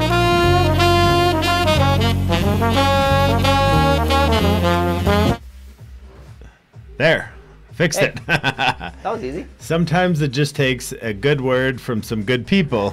yeah. you can get back to whatever We you were talking about. about. So yeah, anyways, we finished off showing you how to bar some legs. Um, really good little uh, little tip you can use. And there's obviously so many different colors of legs. This pattern, that pattern can vary. The next pattern we're doing, um, we're gonna tie it with like floss. You can bar the floss if you choose to. Like it's there's just so much variation in leg styles. Some people um, don't like using the thinner legs. They like round legs, not square ones. It's like there's a whole bunch of opinions. Just And it all pick something that works. depends. They all sit different in the water. Mm-hmm. They're I think if you use a stiffer leg, you can fish choppier water. Um, but how technical do you really need to get? They're trout. Who They're knows? trout. They're instinctive. Well, I don't. Whew. yeah. It's a big So but we asked a question back here. Um, so Mike did it. Mike Demont. nice. Um, your teenager wants to know what playlist you're listening to. Well, we can't give that away. it's just because we don't even know. Because if we knew. But what I wanted to ask you guys was, what do you do if you don't have the proper tools? You still don't know. Well, our friends at Rocky Mountain Fly Shop Have a solution. have has solution. They've donated this Dr. Slick tying gift set mm-hmm. with a bunch of tools. Oh, just let me remove the stickers. And they want one of you guys to have it. So, awesome set. I think what we'll do is give it away tonight. That's a good idea. Why not? and uh, somebody out there who doesn't have all the tools, let's give it to you. And who would that be? Well, what we're gonna do is we're not at 100 shares, so when we get to 100 shares, we will do the giveaway. So if Tim just starts tying the next fly, I will watch the shares, and when they hit 100 or over, we'll give them away. That sounds like a great idea. That's a pretty freaking awesome gift. These those guys Rocky good. Mountain Fly Shop.net. Check them out. You can well all of our kits are sold out. So yeah, you can't buy our kits anymore, but I was gonna say you could buy our kits there. Um, our tables are there, plus all of their items I believe are now on the the online store. online store. Yeah. So we'll give this away in just a few minutes. So Tim, you get tying. Sure. Hit the share button. Get your grandma in here watching with us. if that's the only person on your Facebook, that's fine too. Oh yeah. Okay. Let's get back to the worst fly on the Bow River. Worst fly to tie for the Bow River. And Okay. the fish don't like it either. yeah, fish don't like it at all. Okay, so if we've kind of done things like we had hoped to start with, our stuff should be dry now. We should have two layers of foam with that fur on the underside. Um, so what what we got to do next is we got to shape this foam. Um, we got to get it prepared to be on this hopper. So first things first, go ahead and grab the hook that you're Is it cold use. in here? Those are soft. That's soft. Okay. Oh, The, it's it. The problem is, so when you're super hairy chested person and you wear a shirt that's quite staticky, it just like sucks. Okay. It was me that was asking. oh, shoot. Eugene had a good point. I was going to talk about the vises. Oh yes. Um, okay. So, I did want to make this a fly tying show, but. so, Tim's had his Norvise for. You got it about this time last year, No. before Christmas? No. Were you all season two on All the season two is on Norvise. Yeah. Okay. So it's So- been a couple. Yeah, two years. So secretly, I resented him, and I didn't want to. Um, I didn't want to touch it because I know the fear of touching really cool things, and then you have to get one. So I, He literally never touched my vise. I literally, Not once. I didn't even put a hook in there. So we got a couple vises from Norvise, and they showed up right after Christmas. And Tim wasn't here, so I thought, hey, I can try to learn this without him making fun of me. no, he found one of my flies. You tried to sneak it over there. I saw it. Uh, Anyways, so I attached it to the table and sat down here. And this, I know Norvise sponsored stuff, and I'm not trying to sit here and sell it. It's an expensive product, but why don't I sit over there and tie? I truly don't enjoy tying a lot, okay?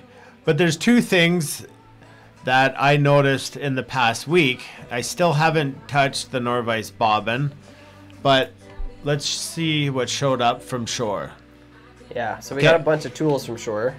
So this is very counterintuitive of my personality because I like to buy expensive things, knowing that good quality things. If you go to the other camera, um, we can show it in there. If if you buy stuff that's good, you buy it once. So That's I probably haven't spent more than fifteen dollars on a bobbin and I've gone through quite a few. And so that bobbin showed up, and that Norvise showed up. And I'm telling you, folks, if you're not, if you can't get into the Norvise and they're, you can't get into their bobbins, that shore bobbin was absolutely awesome. freaking butter. I just sat there and wrapped thread around hooks and threw them out. And then I sat there and I spun dubbing on thread for probably two straight days. And I fell in love again with fly tying because I tie a lot of guide flies for guiding, but I can't say I've ever enjoyed it. Well, when you get the right products, it's a lot of fun. So if you're sitting there struggling with a really inexpensive vise and cheap tools, try, I'm encouraging you, and there's no benefit to me, is do yourself a favor and just up the game a bit, whatever that means. I think that bobbin is thirty-four dollars mm. Canadian, so like twenty-five American. Go get one, and if you get a Norvise, I don't know. There's a lot of good vises, but tying on those cheap vises, it ruined it for me. And I might say I'll be back there one day. Might be. and that's just straight from the heart, an honest review that crappy tools really hinder the fun of tying. Yeah. So, uh, whatever that means, go down to your local fly shop. Ask them if you can try some bobbins, load some thread. I don't know why they wouldn't let you, despite COVID. Bring Yeah. some sanitizer, clean them up. Try some of the vises. I also don't know why they wouldn't let you do that, but there's a vise for everybody, and good tools make a huge difference. Look at Steve's comment. Uh, well, hi. My wife just rolled her eyes listening to you. Oh, great. More Whoop. fishing gear to buy. Um, what we could also do is uh, for six hundred and fifty dollars, I can give you eight hours of counseling yeah. on my boat. you and your wife, I see what you did there. That was good. That was good. and It's we like can fish. yeah. It is. Works you through some tough There times. is. Some days it is. Yeah, guys, Um, it's a, that's something that actually can't be stated enough. And he actually said to me, I think it was yesterday, he's like, "But what do people do if if they can't afford a good vise?" And I just I was silent because I don't know what the answer is. I, No, I worked from the bottom with a the from a bra like from a whatever that those Wapsi kits. Literally was my first vise. Yeah. Up to what I use now, and there were a lot of times I almost stopped tying because it's just not fun. I did. Like Literally stop You're pulling on, you're putting thread wraps on, you pulling your hook, and the and the and the actual vise can't hold your hook, and it falls out or moves. Like, I couldn't tie on that anymore. There's no way. Mm-hmm. So it's, I mean, maybe we're just spoiled, but in my opinion, if you're gonna spend your We- money, spend we it are on spoiled. Tools. I- we're spoiled, I agree. 100. percent But spend But- Mm-hmm. money on tools. Yeah. and yeah, man, I just want to grab that bobbin again and put it Just in wants my to grab that bobbin and put it in my hand. get to work again. You wait, that thing's gonna kill it at the bike racks yeah, this year. yeah, right. It will. You just watch. Okay, so question here: uh, vises. Did we cover what we needed? Um, that vise is a left or right-handed. You just literally switch. You drill a hole in a table, a piece of wood, a fly Kia. Get your favorite craftsman to build you a table, whatever it is. Yes, John, your 1990. It might be obsolete. Uh, so Lisa, how far in advance of the show? A day or two? Um, feel like we're oh, missing. that's a cool kit. Is there any way that you could create a shopping list for a first time tier? I know I need to get glue and some different types of thread, first time tier. Mm-hmm. 100%. We will do that. That's a really good idea. Yeah. Um, Easy we will. do. Mm-hmm. So there is, if you go into RockyMountainFlyShop.net, they have those Wapsi kits, mm-hmm. which are full of a whole bunch of dubbing, some pretty basic materials to get started. A big reason that we did Thursday Night Live was to supply enough material that people could tie a fly like this and not have to go spend 50 or 60 bucks on material that would eventually make you tie a 100 um, like myself, I get bored quickly and I want to tie one or two, or I just want to try different samples of flies, see if I like it, and while doing that, I learn a lot. Yeah. So, Lisa, can you send an email to me, info at flyfishingbowriver.com? That way, I'm reminded, and that's a fantastic idea. a That's a good video for the Fly Fishing Academy. Yeah. Um, it's really good information to have because it, it is intimidating when you walk into the store as a new tier. And let's be honest, I mean, fly shops are there to sell you things, so they're going to sell you as much as they can. Um, but if you're on a little bit of a budget, even it's it's good to know the essentials that you need to go grab. Definitely. Um, So the shore bobbin is not an auto bobbin. Norvise is the only one that has the retractable bobbin, and Yeah. that's pretty one. cool. Why is it cool? Because sometimes when you're making a W noodle, whatever, you've got to like grow another arm somewhere and to- retract your thread. Yeah, it's it's one of those things you almost can't explain until you use it, and then you're like, whoa, blows your mind. Yeah, Okay. it's great. Uh, okay, so Jeff is using his wife's account.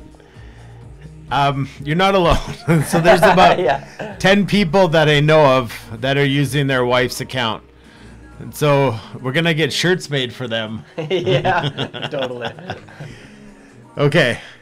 Um, Robert started with a cheap vise that came six vises later, still having fun. So you don't jump into something like this and be like, I'm an epic tier.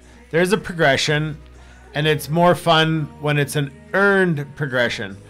So, uh, you know, an inexpensive vise at the start is fantastic. If it's going to hold your hook, it's going to get you to a point where that as you move up the ladder and you hit something like this, your mind's going to be blown like mine was.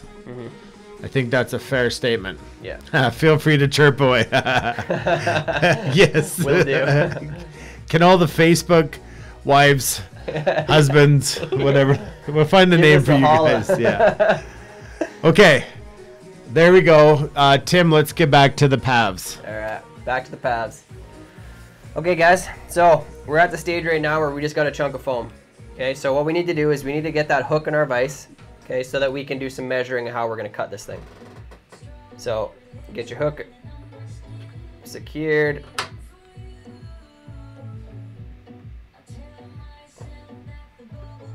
And if you've got one, guys, um, scissors is what we're gonna do to use some of the cutting on, but we're also gonna use a very sharp blade.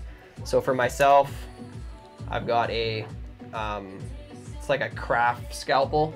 If you don't have one of these, even uh, um, just a regular razor blade that we cut hair with, that would be also useful. or whatever else you got a razor is- blade yeah, for on your I know, table. I'm trying to think what else is a razor blade for, but Cutting up uh, chalk dust. yeah.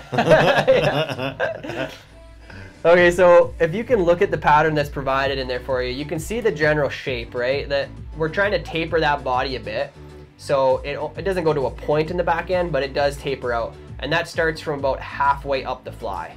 Okay, so when I think of the overall length, we can see that that hangs off about a hook gap beyond the hook itself. So when we're measuring this, we know we want um, the eye of the hook to land just under the face of the hopper.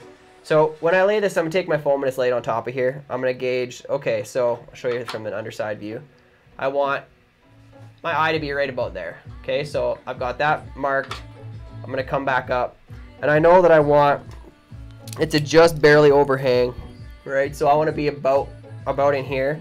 Not an exact science here, guys, it, and it's not crucial if it's too long, too short, but we do want it a little bit extending. So once I gather that measurement in my head, I'm gonna mark it with my finger so I can see.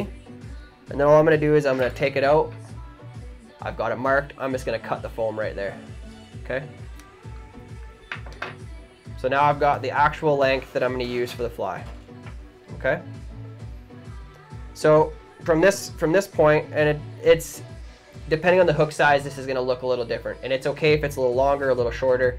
Um, we're just we're generalizing here. For the head itself, we're not doing a ton of stuff to it. All we're really doing is gonna create a, a flat surface because we are gonna put some eyes on it. So if you look at this guy here, the one you have in your kit, um, the head is just barely shaped. So we're just gonna take a little bit off um, the corners up at, up at the head. So pick a side you want to be the head. All I'm gonna do is take just a little bit off, just gonna flatten that out just a bit so I have some eye uh, available space to put the eyes on. So you can see a little better from that angle. And it, it isn't easy cutting through all these layers. Um, definitely understand that. So it takes a little bit of getting used to. But we want to create just an even shape on both sides. So once you feel like you've got that even shape, pretty close to it, okay? I'm gonna be happy with that. I'm gonna get my eyes on there at the end, okay? Now remember, about halfway back from the foam is when we're gonna start making a taper on this. So what I like to do, and it's kind of going to be difficult to show you from this angle, I'm not going to be able to actually cut at this angle, but I'm going to show you. I'm going to come from the back, and I'm going to basically mark where my halfway point is on the foam itself. So I know it's right about up here, and that's where I'm going to angle that cut, um, basically to go from here up to that halfway point, and I'm going to do the same on the other side. Okay, so I'll cut this quick, and I'll show you what that looks like. Again, it's not an exact science, so don't freak out, but just don't um, don't take off more than you need to because you can't put foam back on. Okay, so I've just cut one side. Okay, so from the this side, looks like so. And I'm gonna do the other side.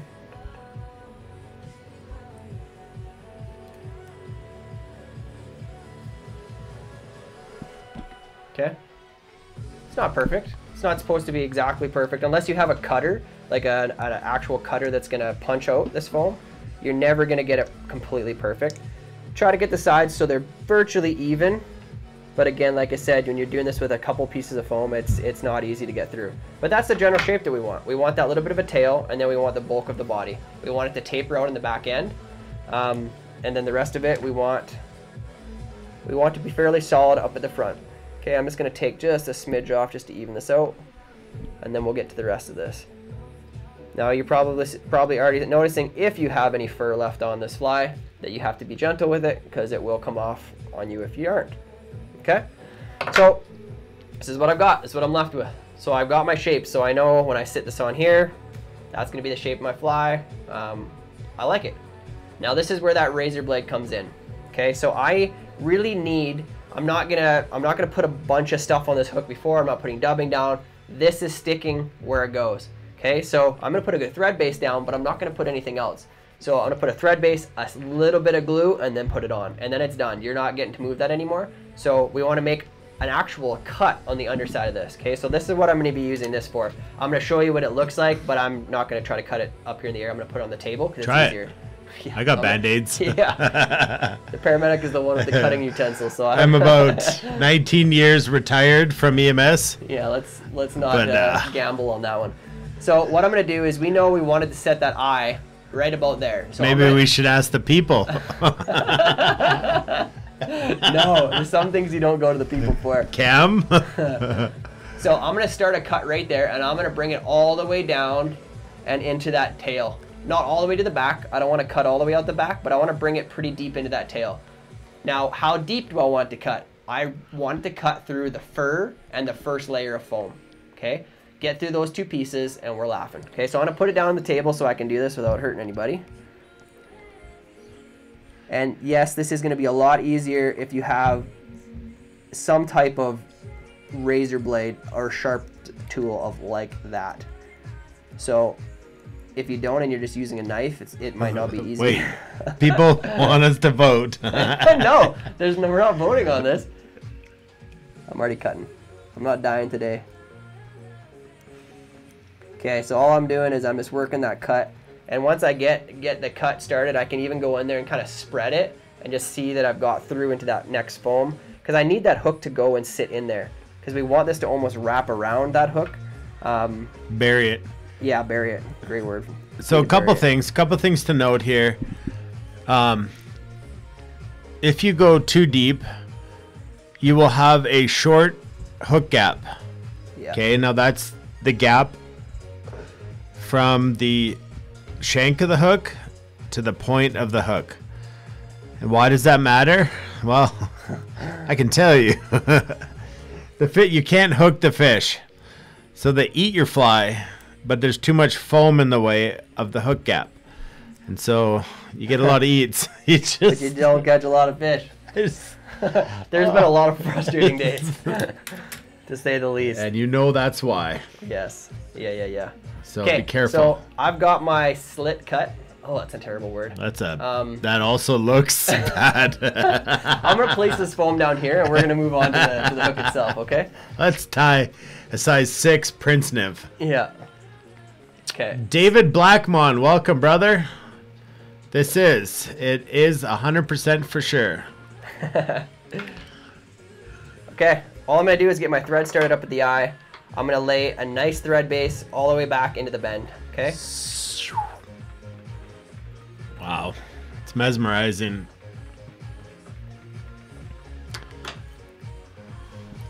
Not super crucial that you cover up absolutely everything, but we just want as much to bind to as possible. what? This relentless comments, in their comments. yeah. Spread the cheeks, the check the depth. Jen Lyle says that's how you sabotaged me. Oh, we Oh, need a man. fan in here. Yeah, it is It's feeling, hot. it's feeling It's warm. hot. Okay, so now that I've laid a good thread brace down, I if you if you take a look at your fly, you'll notice there's no thread wraps on this until up at the front half of the fly. So it's literally if you put the center of the fly or center of the fly right there, that's where our first thread wrap is. So we want to bring our thread back to center.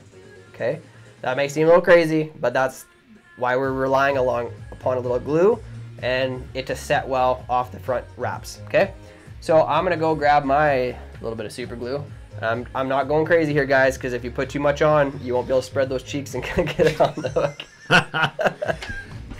okay. This is PG. Yeah. For pretty good. Yeah, pretty good. So just a little little light layering there. Okay, now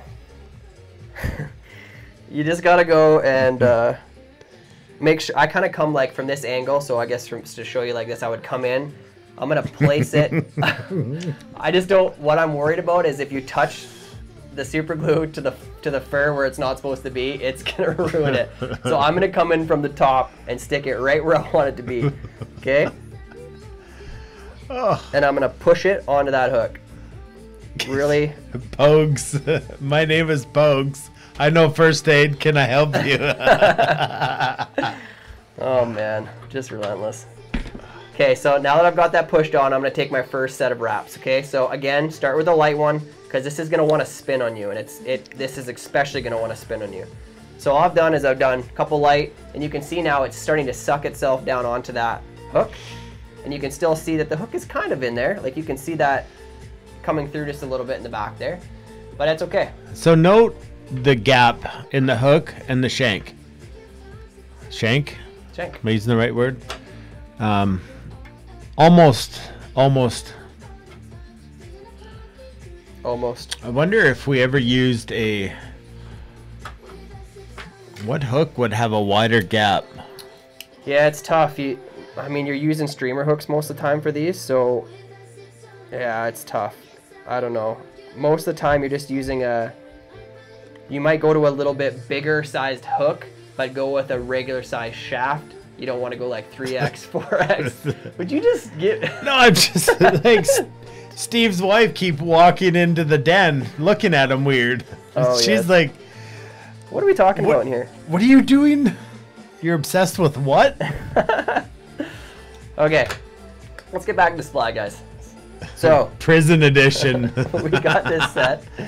oh, yes, it's good. Okay, so go and find your flossy legs. Okay, so we got these guys here. Okay, so this first one is a little bit tricky. Ooh, this is a one really long one. So we're gonna split this in half a few times. So this, depending on how they come in your pack, it'll probably be very similar to this one.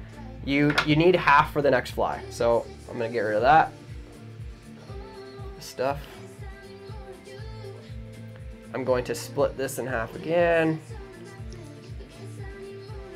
So what we'll do, once everybody gets their legs on, we have over hundred shares, so we will we will give away this kit. Nice. Okay, so basically what I'm working down to is just getting a couple of short pieces and I'm just keep I'm just keep halving this. okay. How do you like those scissors? They're nice. Yeah, Yeah, they're it's really the nice. first time Super effective, them. yeah. So I've got two pieces like so. Now what I want to do is I essentially want to put a knot in them right in the middle. Okay? So what that looks like, it's not super easy to work with this stuff, but I'm just going to take it, turn it. I say that. Tie a knot right in the middle. Which is never super easy. But struggle fest here. Once you get that knot in there, you'll see why it's important. Hopefully you're having an easier time than me. Okay, there we go. So, ooh, don't lose it now. So you want a, a knot somewhere roughly in the middle, okay? That's that's fine. So what I'm gonna do then is I've got these this knot here. I'm gonna go in and I'm gonna snip out one off one side, okay? So you see how there's two on each side, two on that side. I'm gonna go in and snip out one of them right at the knot. Okay, so now I got one on one side and two on the other. Okay, does that make sense? Now what I'm gonna do is I'm gonna turn it so that the two are together, and this is what I'm gonna tie in to start with. So this is gonna represent a hopper leg. Okay, so that's why we have that joint in it. So I want that ball or that knot to be just It's almost a kneecap. kneecap, yeah, almost to the back end of that fly. Okay, is where I'm gonna place it. I'm gonna place it on the side of the fly and I'm gonna tie this in. Okay, Just gonna take a nice light wrap to kind of get it where I want it. One more wrap, and then I can go in and I can work with it. Make sure I get it where I want it. So, question from Bill: Anywhere in Canada sell Shore products?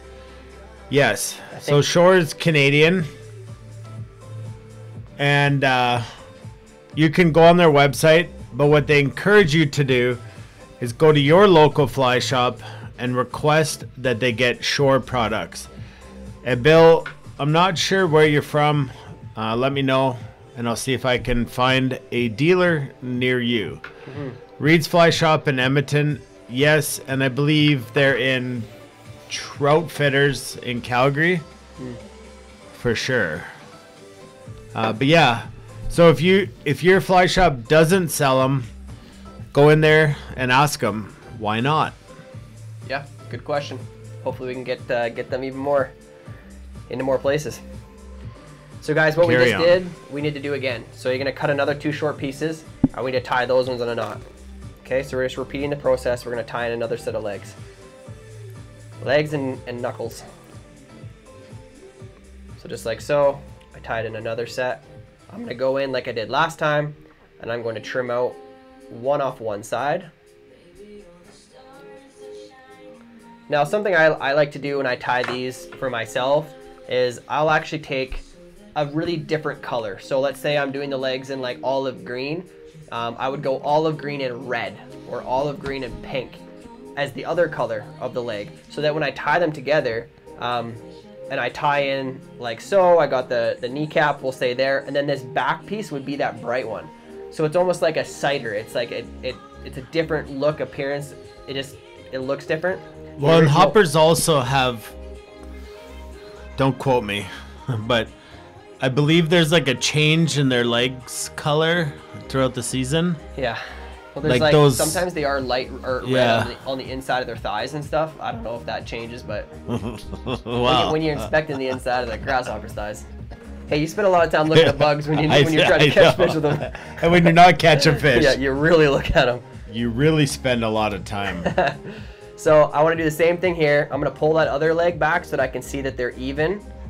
Remembering that I'm tying with the, the one that has two legs. So the two leg side is the one that goes on, um, gets tied in, and then the single leg is going to dangle off the back. Just make sure you match up the two so they're fairly even. Not super critical, but that's what we're going to do. Tie them in, get some good thread wraps. And now it's gonna look like so. Okay, but what we don't want is this stuff. So we're gonna go in and get rid of those. Just being very careful not to cut your other legs or the whole process has gotta start over, okay? So I'm just giving them a little tug. I'm going in and cutting them out, okay? So it looks like so. And sometimes these legs just aren't gonna sit the way you want them to, no matter what you do. Not a big deal, guys. Really, once they're in the water, they're gonna lay in their own direction anyways. Okay, so the the other piece that we need to add um, to this part of the body is we need to add in some more of our yarn. Okay, so I've got some of this same poly yarn, or you can use post material, um, Chernobyl, wing, whatever it is you want to use. You can use EP fibers even. Um, this is just meant to look like a wing of some kind and also a sighter for you. So I'm gonna split that in half. I'm gonna lay it on top. Take some good thread wraps. I'm gonna pull them both to the rear and lay them like so, okay? So my desire is that those will stay together. So one thing you can do, um, I like to do to start words here, is I like to go in and, and just use a little bit of bone dry and I'll show you what I do with it. Not only does it secure that, that leg position, um, but it's if I pull that wing back and I just put a little drop in here and let it soak in for a half a second, what I then do is I get to decide where I want that wing to sit. So if I want it to sit flat, then it would sit flat. But I want to I want to lift it up just a smidge. I'm gonna touch it with my torch. And voila. It's gonna stay where I want it. It's not gonna come forward. It's not gonna lay back all the way because I put that little bit of resin in there and that it's UV so it hardens. Um, it's gonna maintain that, uh, that shape, which is what I want. So I'm here already. I'm gonna go in and trim this to where I want it. Okay, so I pull this back and I wanna cut it off right at the back end of the fly. Okay, that's where my marker is, like so. Okay? Okay, legs are in, and you went one step further than. I wanted you to. Where are we at? It's me and you here. Okay. So we've got the Pavs with legs attached, We and we've got a wing or an indicator ish thing, sort of both. So that's a good point to give away this product here. Dr. Slick tier gift set. So Tim, open your phone. All right. What am I doing? We're gonna check comments Okay. because I know they're slightly delayed here, and we don't want anybody to not win this because of the delay. Okay, one second. So yeah, this is uh, eighty dollar toolkit from Dr. Slick, and it is donated by our friends at Rocky Mountain Fly Shop. We will ship it to you, and there's people waiting for shipments of products from the giveaway back before Christmas, but we want to give it away. So we've hit over 100 shares. We all know what that means. It's time to give away. Away. All So- right, I'm watching. Hold tight. Um, I should have brought Right. Mark. Oh, I had one right here. I would say it's right there somewhere. Just about, just about Dichter. okay. Type this comment in. We need to know between. Wait, how many viewers we got in here? 114, and there's some on YouTube. So the YouTube people are also counted for, and Adrian, you lose. Nobody likes a premature guesser. Yeah. Sorry, bud. It just gets Okay. Because the best part about this, it's also toy shop. It's fly shop, but I like what everyone's doing.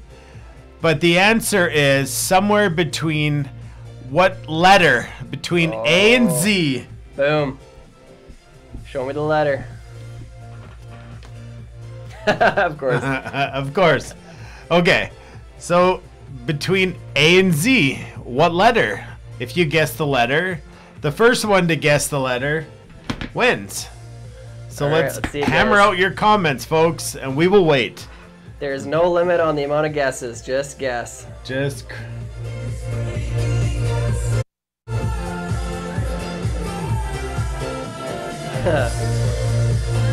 Tell me when, Tim. I'll tell you.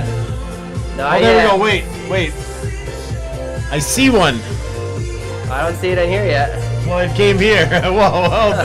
Hold on. Okay, whoa. this got out of hand super quick. I literally watched from the start. Nothing came up. Okay, hold tight. We got uh, music's loud because I thought it was gonna take a while. Okay, That's weird. That comment didn't even show up on mine. I know, but it's here. I just saw it. The letter was F. Charlie. No, Charlie, he Charlie who said he wasn't the Wasn't first. the first. I saw it before him. Hold tight, folks. We're checking the comments. We're checking the comments, and if you're still guessing, we appreciate you. yeah.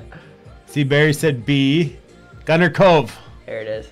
That's the first F that I see is Gunner Cove. Gunner Cove. And if it's not fair, I apologize. but that's the first one to show up here on our screen. Um, by the way, Tim, how do you like that screen? I wish you all could see the screen. Tim can finally see the comments because of 70 some plus inches of pure glory on the wall. Yeah, so F is the winner, and Gunner Cove, you are the winner. Whether that's fair or not, I don't know. Um, apparently, Tim couldn't track it, so Gunner, send us an email info at Fly Fishing Bow River, and the fine folks at Rocky Mountain Fly Shop have just made your fly tying journey pretty epic Yeah, with this uh, Dr. Slick uh, tires gift set. So thanks, Yeah, Rocky so Mountain much. Fly Shop. That's an epic set, guys. The Dr. And, Slick uh, stuff is no joke. That's awesome. Gunner has been tuning in for quite a while. So, Mm-hmm.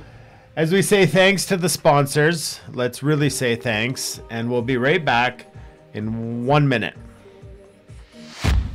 with the amount of time we spend in front of our vises. Don't you think you deserve a pair of scissors that can make the cut?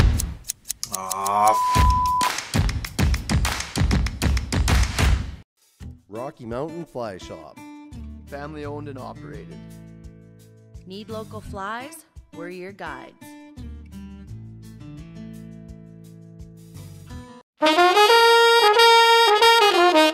There are a lot of great rotary vises on the market, but only the Norvise spins the hook. It's for this reason that it's been said the Norvise is the most innovative fly tying system on the market.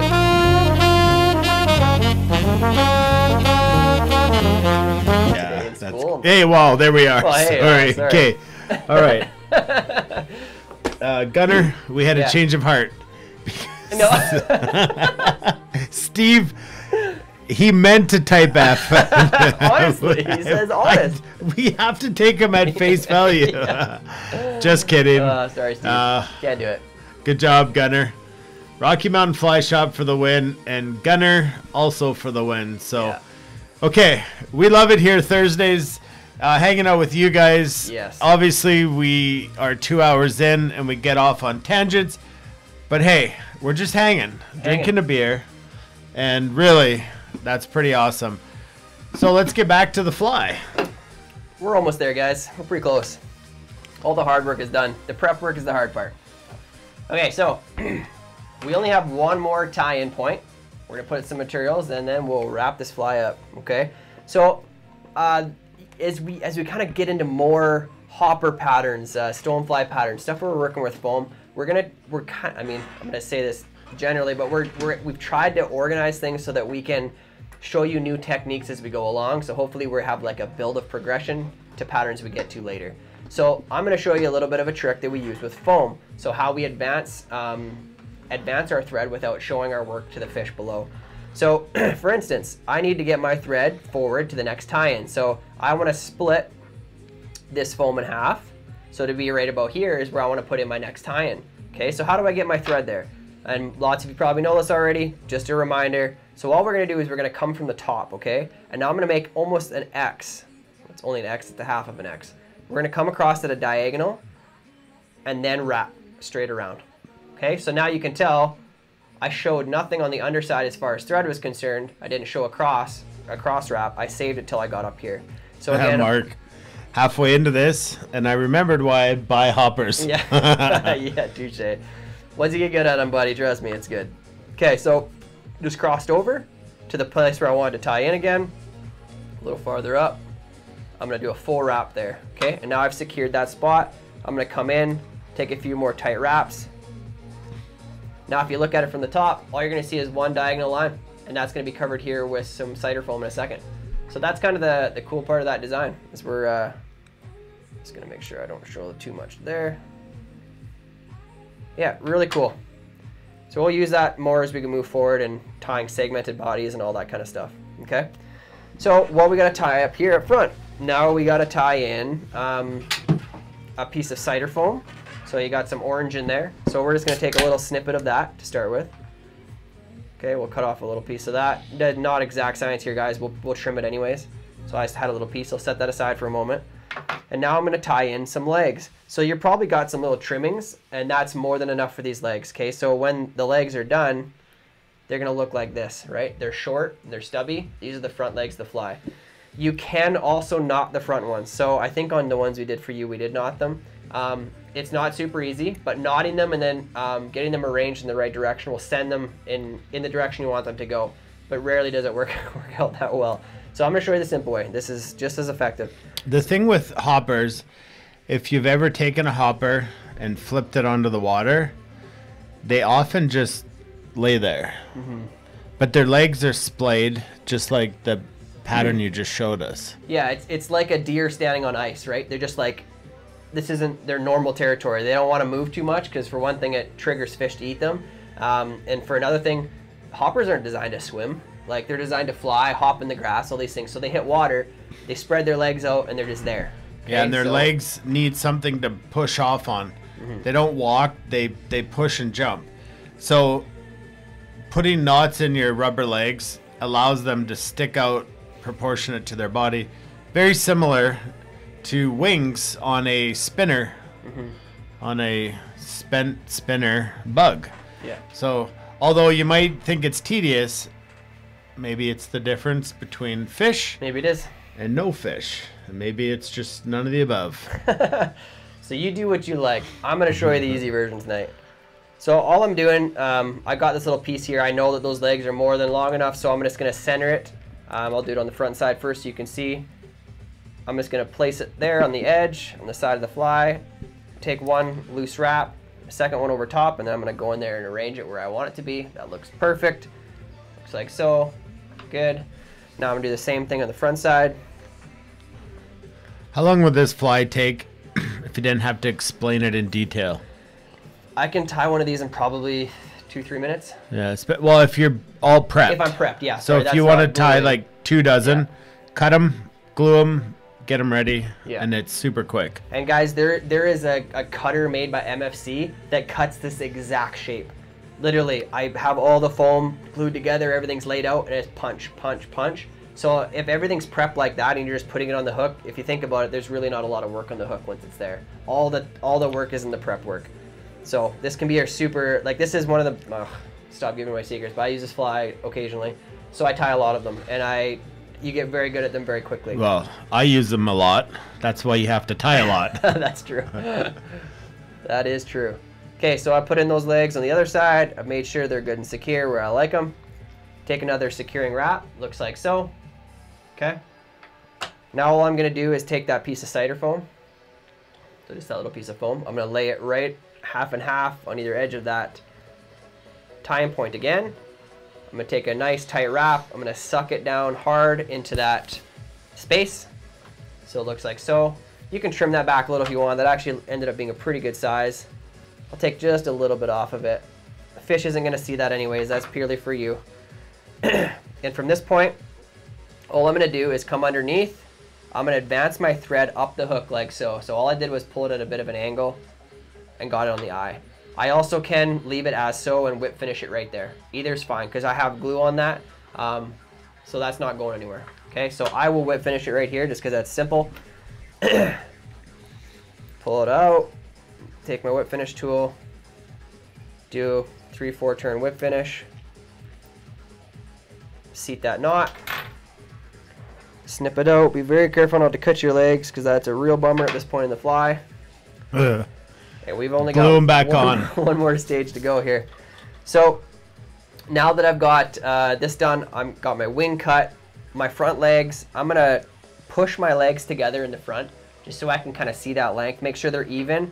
Um, I want them to basically be the hook, again, the hook gap. So always measuring for the most part off that hook gap. So barely out in front of the head. I'm just more gonna trim these a little just to make sure they're super even. And I'm happy with that. Um, same thing, I can bring these guys up and check them. Those look even to me too. If they look odd when you look at the fly, you might want to trim them a bit. Um, and then when I come off the back of these back ones, I can see from the knuckle to the fly, that same distance is what I want to cut this one. So it's basically equal, okay? So the same distance from the knuckle to the end as from the knuckle to the fly. Same thing on this one, I pull it up from the knuckle to the fly and knuckle to here. I'm gonna cut it like that, okay? So we got that appearance. And now just because I can, I'm gonna go in and just bar these real quick just because I have a marker sitting here.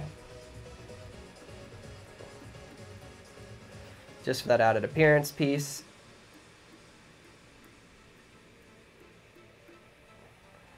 You can do it to the front ones too if you like. Super easy once you have this tied up to just put some marks on them. The floss take the mark a lot easier than a uh, regular rubber leg, but just like so. Barred them up real quick. Okay. Now the last piece of the puzzle in this fly is we have some eyes for you guys. Now this is purely aesthetic. this is not necessary. Um, normally what I do is I come in like this. Simply like that. I come in with a Put the marker, eyes on. put a dot, but I'm gonna show you how to put these eyes on with some resina. So Fish need the eyes. Fish need the eyes, apparently. Um, these little guys can be kind of tough to deal with because they're not very big. But there are actual eyes made for hoppers. Um, so they, they're a little bit different shape. But these guys are just, we're just using some small like fish eyes on this one. What I like to do and how I like to attach them, um, I like to just come in. I have my, again, my Solarez bone dry. I'm just gonna put a little dab right where I want it to sit. Okay, not too much. But just enough so that it's gonna sit in something. Now you can take your scissors, you can take whatever you want. Uh, I'm something, a tool that you can basically place that eye on there with and not get your fingers too much in it. Um, a bodkin works really well as well. I'm just gonna come in and place that. Now I've placed it right on top there. I've got it where I want it. All I'm gonna do is take my scissor or my tool and push it down into that glue. Take my light, Zap it. bazoom. It's about the point in time. Rosina used to walk across the screen and dance for everybody. True. So it looks like so. All right, got that eye on there. And so that's why we did that little bit of trim. It's just enough that it flattens that front there so I can place that eye. And sometimes even taking that marker and putting a mark there is good for you because it just in your head it shows you where you want to put your uh, put your eye. Now I'm gonna grab my other one here, if I can pick it off the table. Cam said he's two for two, and he did not use the eyes because his cat has them. His cat stole them. All right, Alana, her computer's gonna die, and uh, appreciate you tuning in Yeah, thanks, as always. Always good to have you out. Okay, so I'm just gonna place my last eye in here. Get it close with my fingers. Ow! It's on the Medic. I'm gonna come in here, make sure I push that eye down into the glue. Zap this last one. And guys, guys, You girls, survived. guys. friends, you survived the Pavlov hopper. You did it. And cool thing is, if you thought this was fun, we're gonna do it again later in a very similar fashion when we tie the Pavlov stone Oh my! later in the season. Um, virtually identical, one more time point in a little different shape, but we're gonna get to practice that furry stuff again. So don't worry, we'll come back to it. But that's your two flies for the week, guys. Um, been a been a treat as always. Been Hopefully you learned something. Um, again, go back to YouTube because we're gonna take these and cache them there. Um, so at your own pace, if you need to hit pause on me because I'm talking too fast or whatever it is, it's a great place to go back and tie your second pattern. That's why we give you a couple so that you have enough material to go back and do it again. Yeah, so that's pretty cool. The foam is super fun, and sometimes the nymphs are a little more tedious, but that's why we're doing a whole bunch of patterns. Having said that, for season four, we are taking requests. So send us an email. I've posted it in the comments a bunch of times.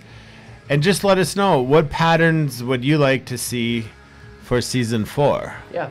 because sometimes we run out of ideas. Uh, so far, we've done season one, two, three, 57. We're like going to be 150 some patterns. Yeah. Some have repeated. Yeah. But, we'll uh, probably always repeat some patterns because they're favorites, but um, Okay. We know what time of the night it is. And Doug, this is going to be a segment, and I'm thinking about what to call it, but it's Jokes with Doug. So, Doug, he's got one for us. okay.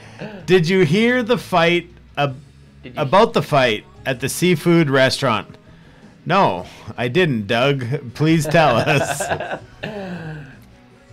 Come on.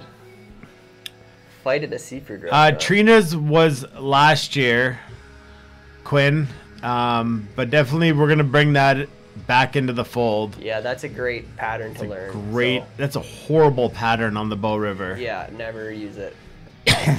John's gonna move up here for season four. yeah, come on, buddy. uh, Bruce, and the the game changer is here, and it is episode twenty.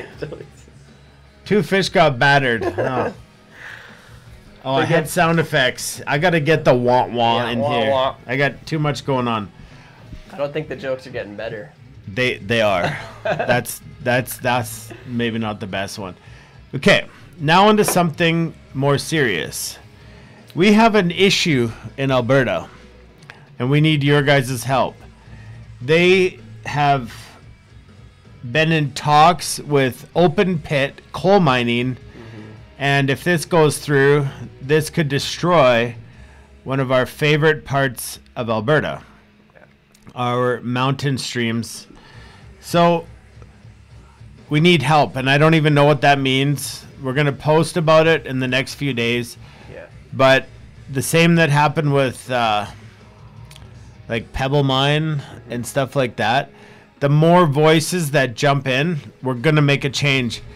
Because just to read some stuff here, that um, earlier this year, the Alberta government quietly rescinded the 1976 coal policy that had protected all of our watersheds along the eastern slopes of the Rockies. And now, if you've been up here and fished with us, or if you're from here, it's probably one of your most favorite places to go. The scenery is to die for. The fish are plentiful, and it is incredible. Okay, it is recovered in the last 35 years to be what it is today. It gets fished hard, Very hard, but, but there's still ton of healthy fish that continue to be there. So, um, this policy was rescinded with no warning or public consultation and in the name of modernization. This policy was put into place with foresight decades ago by the conservative government of Peter Lougheed to protect our watersheds from indiscriminate open pit coal extraction. These water resources were recognized for their great importance to the province since most of our communities depend upon them for water supply and not to mention the irrigation needs of farmers and ranchers in the south of the province. In time, these watersheds were recognized for their great recreational potential with the development of catch and release fly fishing regulations to protect the native and introduced trout populations that reside in these picturesque waters. So, um, I believe there's a couple petitions out there. Check out our Instagram page. We need your help. We need voices. And I'm not, I don't jump into politics. Trust me. And it took me a while to share about this because I really wanted to find out what was fluff and what wasn't. So yeah, um, whether it's a crappy premier or a great premier, I don't have the answers for that. This this is about this needs to be protected. Yeah. Furthermore, it's not even Canadian companies. No, this is an Australian company that's trying to Yeah, build this that's mine. coming in here, and and we're not gonna conversate about what's clean energy and what's dirty energy, but this this isn't good. No, this, and this is this is known to be dirty and to wreck waterways. Like it, there's just it's happened in the past and it will happen again if we don't stop it. Like, there's no two ways about it. This will devastate that water system. Yeah. So we thought we were stopping all coal use in the province, in the province, but this uh, policy got rescinded, and I don't know how it happened, How do you just rescind? Yeah, well, and I don't know all the details, but we have. This can't take place. Trust me. Um, Southern Alberta was coal mining down in the Crowsnest uh, for a long time, and thankfully it ended because now we can go fish down there. And yes, it's a job for us. It's Yeah. part of our livelihood. But honestly, throw that in the garbage. If I never did this for a job, for guiding, it is probably one of the most beautiful places in Alberta. yeah. And every time I take clients there and we drive in, it's quiet in the car, and everybody just sits there and stares at the majestic Rockies and the water, and it's like, I don't care if we catch fish. no, it's heaven. It's just it's, It's- different. It's a different place. It's serenity. It's everything. Yeah. So, uh, Brandy just threw up a link. Hopefully, it's clickable in the comments on Facebook. Um, but yeah, something very dear to us. Yeah. and I didn't want to get all political here, but yes, we need to talk about this and figure out what's right or wrong. And uh, do your research. Don't just go sign a petition. Do your research. I mean, if this is the answer for the future, maybe it's the answer. Personally, I don't agree. Uh, but that's for you guys to decide. Um, so, yeah, that's kind of the sobering comments at the end of a wonderful night. Yeah. But I just wanted to bring attention because we have a voice, you guys have a voice, and together it's very loud. So let's be loud about it. Yeah. It's the only way we're gonna instill change is if we talk about it. Yeah. I saw Geoff said that it made international news yesterday, so that's great. That's what we need. So a lot of you guys aren't from Canada, and that's amazing. Your voice means something too, right? Tell tell people around you, tell the other fly shops you go into, the because what, what people don't understand is yes, the border's closed right now, but the majority of our clientele are American, and those are the people we come up here and we serve in that in that area. So we're not gonna be able to do that if it's not here, if, if we can't fish it anymore. So Well, and our kids aren't going to fish our, it. our kids won't. Ren's Yeah. going to have enjoyed her five years, the last five years, which is the it. first. Yeah, the first five years of her life. can't take her back to the Oldman because there's no fish there, and it's dirty, oily, greasy water. So it's just voices, folks. We've, as a community, stood up for many things in the past, and we have made change. Yeah. So Need um, to do that again. we can for sure. Yeah, We went a long time tonight, but that's okay. it's okay.